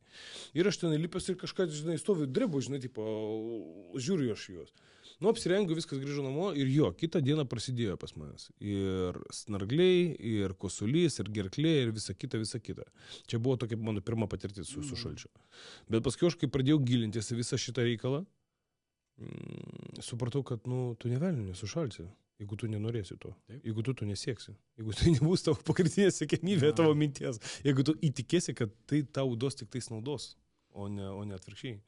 Žalos. tenagi tai or- organizmas labai pasiema savo visko, ko reikia ten iš to šalčio. Jo. Ja, ten, jeigu tu supranti, kad tau tai nauda, tu supranti, kad tu lauki neteimo, Mano, to žinai, mano prasikvėpavęs. būsios e, žmonos kažkada mučiutė buvo į svečius atvažiavusi, sako, nu, žinai, per dantį trauk, sako, anuisi į gredą pagulėti. Jo? Visi, tipo, davai, o eitum, blem, 80 metų. O, atsiprašau, 70. Virš 70 metų. Žodžiu, jinai gulo, nes 5 minutės, pilnai. Jinai dar tokia mažytė, žinai, mintutinė, gulė. Nu, sako, biški, tokia aš užgipo, sako, bet pirš- pirštukai biškui, sako, šalia. Visi, visi be- mano tėvai, jos tėvai ten, jinai, tokie, aš žinau, nes tai Nu, irgi neįdavo. Aš tai, žinai, kaifavau nuo to, nuo to viso reginio. Man tai gerai. Gerai. fainiai. Gerai, gerai, šaltukas. Ir, ir jinai pirmą kartą į šal, į šaltą vandenį svarbiausia. Žmogus, kiek metų jai? O taip. Mm, ja. Nes jinai žiūrėjo, nes jinai žiūrėjo su entuzijazmu visą šitą procesą. Tai Tai jai patinka. Jai patinka, ta prasme, eksperimentuoti, naujienos patinka. Atsimenu, pirmą kalė- kalėdą kartą parūkė. Ir kitokia, žinai, nežinau, kaip visą tą daryti. Tai, bet jai prikolas, jinai, jinai kaifuoja nuo gyvenimo, kaifuoja, tu, nu, tu nujau, kad yra dar tiek metų pragyvenus, kad yra dar tokių dalykų, kurių jinai tai nėra bandžius. Tai tai ir yra tas vat, gyvenimo džiaugsmas, nes Žinok, nesus, nesusirgo. Ir bloga nebuvo, ir nekosiu, ir snaglių nebuvo, nieko nebuvo. Jis kaifavo, sako, žiūrinis dalykas. Sako, noriu, noriu, noriu šitą praktiką tęsti. Mm, gerai. O taip. Mes eisim iki gal, į galą. Ir aš, Gerai. tur, ir aš turiu tau pagrindinius klausimus, kuriuos aš užduodu visiems savo pašnekom. O, jau dabar bijosiu. Ne, ne, jie labai, labai, labai, labai paprasti yra. Tiesiog jie tokie žmonėm susimastyti tam, kur jie yra dabar ir kur jie gali nukeliauti, kur jie nori nukeliauti, kodėl jie ne- nekeliauja ten. Tad paprastas toksai klausimas. Ar būtum, nu, dabar tau sakai virš 50, ne? Mhm. Pagal pasą. Pagal pasą. Pagal pasą man irgi netoli 40, bet svarstyklės rodo, kad 20. Biologinis amžius. Sakykime, savo 20, 20 metyje, nežinau, tam tarpe. Ar įsivaizduotum save tokį 50 metų, koks esi šiandien? Kada man buvo 20, tikrai neįsivaizduočiau. kad būsi būtent tam taške, kad būsi tiek nuveikęs, tiek padaręs, ir tiek pasiekęs ir kad būsi būtent toks žmogus, koks esi šiandien. Kai buvo 20, jeigu man tai imti tą laiką, kada man buvo 20, kada buvo 19, 18, tikrai net nepagalvočiau. Nes tuo metu buvo ta mintis, kad e, ta, dar buvo biški kada mažiau, tai dar vat, mokyklos pabaigoje, taigi visi tipo, bus 2000 pasaulio pabaiga, aha, tai ta prasme iki to laiko man bus tenai tiek ir tiek metų. 2000 mašinos skrydžiais. Atsimeni, buvo tas. jo, jo, 2000 jo. metų tikrai bus surėdusios mašinos. Tai, va, tai buvo tas toks, kad, aha, atvarkoja, man bus tiek, nu tai gerai, turėsiu šeimą, du vaikus, vienu žodžiu, nu ir ką, galima bus du baduoti, žinai, jau kada jau bus pasaulio pabaiga, nu žinai, toks tipo. Bet pasirodo, kad gyvenime viskas visai ne taip ir, ir viskas persisuko visiškai kitaip ir niekada nebūčiau pagalvojęs, kad taip. Gerai. O jeigu galėtum uh, grįžti į tos laikus, šiandieną, o taip nugyvenęs visą tą gyvenimą, tokį patirtį sukaupęs, kokį patarimą būtum savo jaunam davęs? Nestabdyk. Nestabdyk. Pagrindinis. Pagrindinis dalykas - nestabdyk.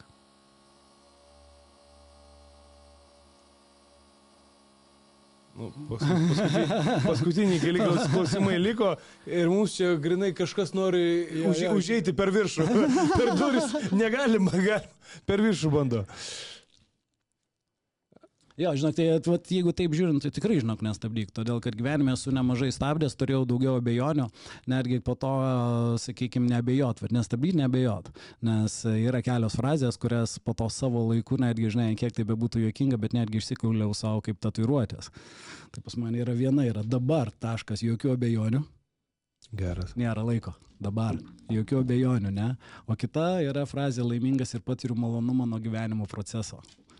Todėl, kad mes atėjome čia tam, kad būtumėm laimingi ir patirtumėm malonumą nuo gyvenimo proceso. Prisiminti, kad gyvenimas nėra galutinis taškas, kažkoks tai ciklas, uždaryta, kažkas tai yra procesas, tai yra judesys, tai visą laiką juda. Tai tas vat, momentas, toks, žinai, kurį aš išmokau jau gerokai vėliau, man buvo didžiulis šokas, kai aš atvariau į vienuolyną, vat, teravadą, taigi senasis budizmas, palikanonas ir ta prasme, ten labai griežtai viskas, kas knygoje parašyta. Tik tai taip, nu, pats žinai, Tailandė budizmas, tas tikras Tailando budizmas, jo labai strict.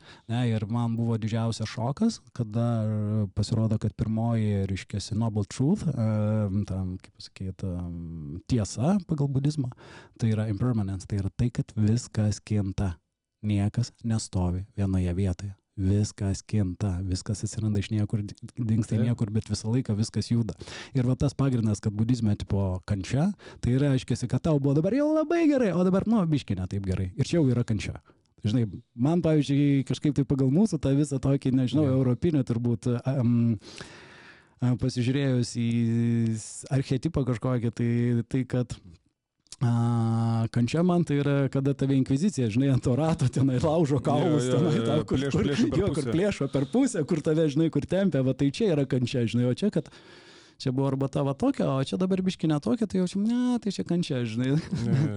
Tai ž- ir žmonių, kurie ir, ir tą, kad čia priima. Jo. Tai va tas dalykas, tai va būtent impermanence, būtent tai, kad viskas, viskas kinta. Tas tai faktas. Nu. Ir va tas, žinai, tas toks žinojimas ir sakau, nestabdyk, varyk. Varyk, nestabdyk, negalvok kai kur. Mušk pirmas, paskui pagalvosi. Gražuolis. Kur matai save po 10-20 metų? Vau, kur aš matau save, matau, matau panašiai turbūt kažkaip tai. Matau save. Klaidžiantį po pasaulį? Ne tai, kad klaidžianti, man nepatinka šitas žodis klaidžiantis. A, jisai turi kažkokią tai tokią, sakyčiau, neigiamą galbūt rei- reikšmę, ne? Klaidžiantis tai toks tipo be vietos, dar kas nors. Aš sakyčiau greičiau, kad einantis per pasaulį. Einantis per pasaulį ir matyčiau save galbūt daugiau, nu, ne tai, kad daugiau, nu visą laiką tas pats buvo pas mane, tik tai skirtingais pavydalais. Tai gyvenime, kad kažkom tai dalinsiuos. Nes įdomu.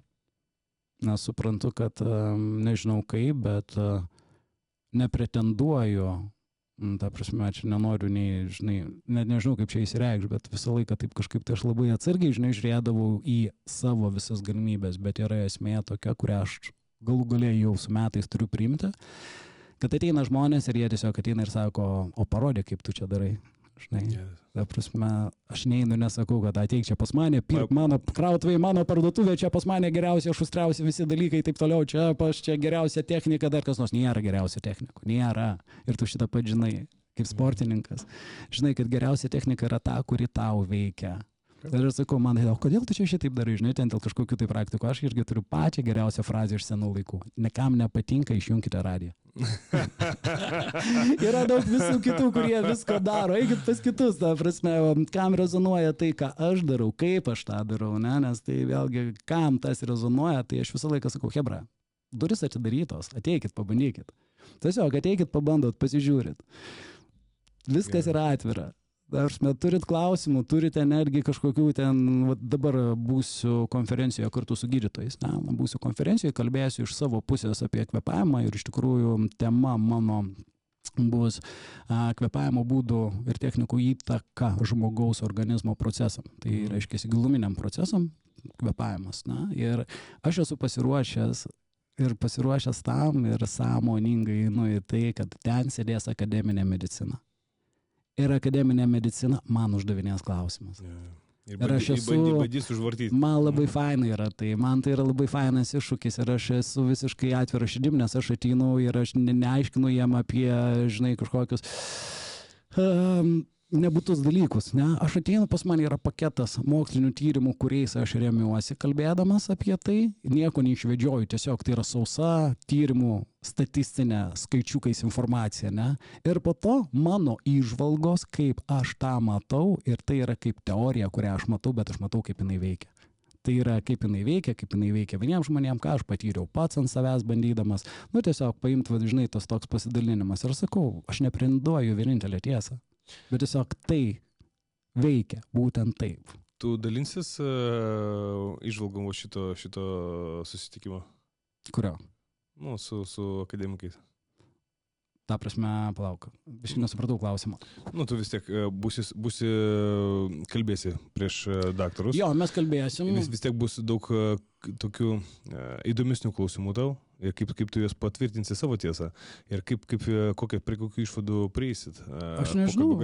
Aš nežinau, prie ko. Aš sakau, ar tu, tu dalinsis jais savo socialiniais tinklais? Aš nežinau, galbūt, net nežinau, žinok. Nes Bus... man, man tai, pavyzdžiui, įdomu būtų išgirsti. Na, žiūrėsim, galbūt ten aš labai tikiuosi, kad tenai filmuos viską. Tai, tai, tai, tai, ką mes šiandien pakalbėjom, tai, ką aš šiandien išgirdau, man tai patiko. Ir man bus įdomu pažiūrėti, kaip, kaip, kaip visą tai iš šono atrodytų būtent uh, iš, iš mūsų mokslinės puslės. Va, dėl to, kad tenai iš tikrųjų labai yra įdomu, nes bus tenai genetikai, bus mokslo daktarai, bus kas e, tyrinėja, reiškia, žmogaus senėjimo procesus, tas ja. vadinamai amžėjimą tyrinėja. Ten bus vat, e, puikus mūsų mokslininkas Dirsė, kuris dirba, reiškia, su telomerais. Tai yra telomerų teorija, tai yra apie tai, kad ten, kada dalinasi mūsų lastelės, kad tipo, tai pagal telomerų ilgį tu gali žinoti, kiek tu laiko gyvensi. Nu, čia viskas longevity, viskas. Jo, jo, čia yra amžino gyvenimo vienas žinau, amžino gyvenimo, vienu žodžiu, visi šitie dalykai. Geras. Kur dabar tema pas visusgi pagrindinė, nu kažkaip tai tokia madinga tema jau kurį laiką Europoje visurgi yra, tipo, kad, žinai, amžėjimas, gyvenimas ten toks, kaip čia mes. Dabar... anksčiau norėjo, kad tavo vardas amžinai gyventų, kad tave prisimintų amžinai būti didingu, o dabar noriu patys išlikti. Jo, žinai, tai ta prasme tos va temos yra ir, ir vėlgi, nu, apie savijautą, apie pagrindas ir, žinai, savijautą kaip mes jaučiamės, nu, bleka, taigi nori jaustis gerai. Ja, tu faktas. Nori jaustis gerai, bleka, kai gerai jautiesi, wow. Nu, man, patinka, man patinka tavo energetika. Būtent todėl aš e, į tavo sekančią, sekantį kvepavimą būtinai teisiu. Nu, klausyk, ačiū tau labai.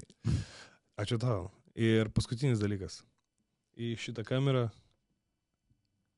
apibendrinus mūsų šiandienos pokalbį, kokią žinutę tu norėtum e, danešti, e, perteikti mūsų klausytojams? O, geras labai dalykas. Aš tai iš tikrųjų žinutė, kurią norėčiau perteikti, kolektyvas. Būkite žingeidus ir domėkitės viskom, kas yra aplinkui ir svarbiausia, domėkitės savimi. Prisiminkite, kad esate gyvosios gamtos dalis. Lygiai taip pat esate ir kosmoso dalis.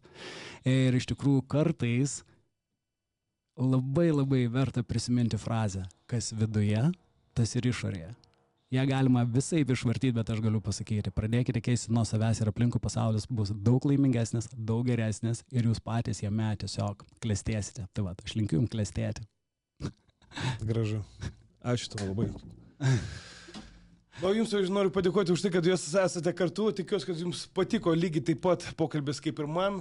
Taip pat nepamirškite palaikyti mano kanalą spausdami like, palikdami komentarą su jūsų nuomonė apie tai, ką mes šiandien apkalbėjome. Taip pat parašykite, jeigu turite pageidavimų kažką ateityje pamatyti šitoje studijoje mūsų pokalbiuose. Subscribe. Na ir dar kartą jums visiems ačiū. Iki sekančio karto. Sergejau, linkiu tau sėkmės. Vat pamiršau palinkėti tau, bet dabar pasakysiu, aš tau linkiu sėkmės. Sėkmės visur ir visada. O tu žinok, aš niekada neleidžiu savo sėkmės uh, linkėti. Žinai, kodėl? A, kodėl? Nesėkmė reikalinga nesėkmingiam žmonėm. Aš manau, kad uh, ką uždirbsim, tai turėsi. O vat, motivacijos ir pozityvo, kaip tu turi, aš priimsiu iš tavęs. Gerai, tvarko.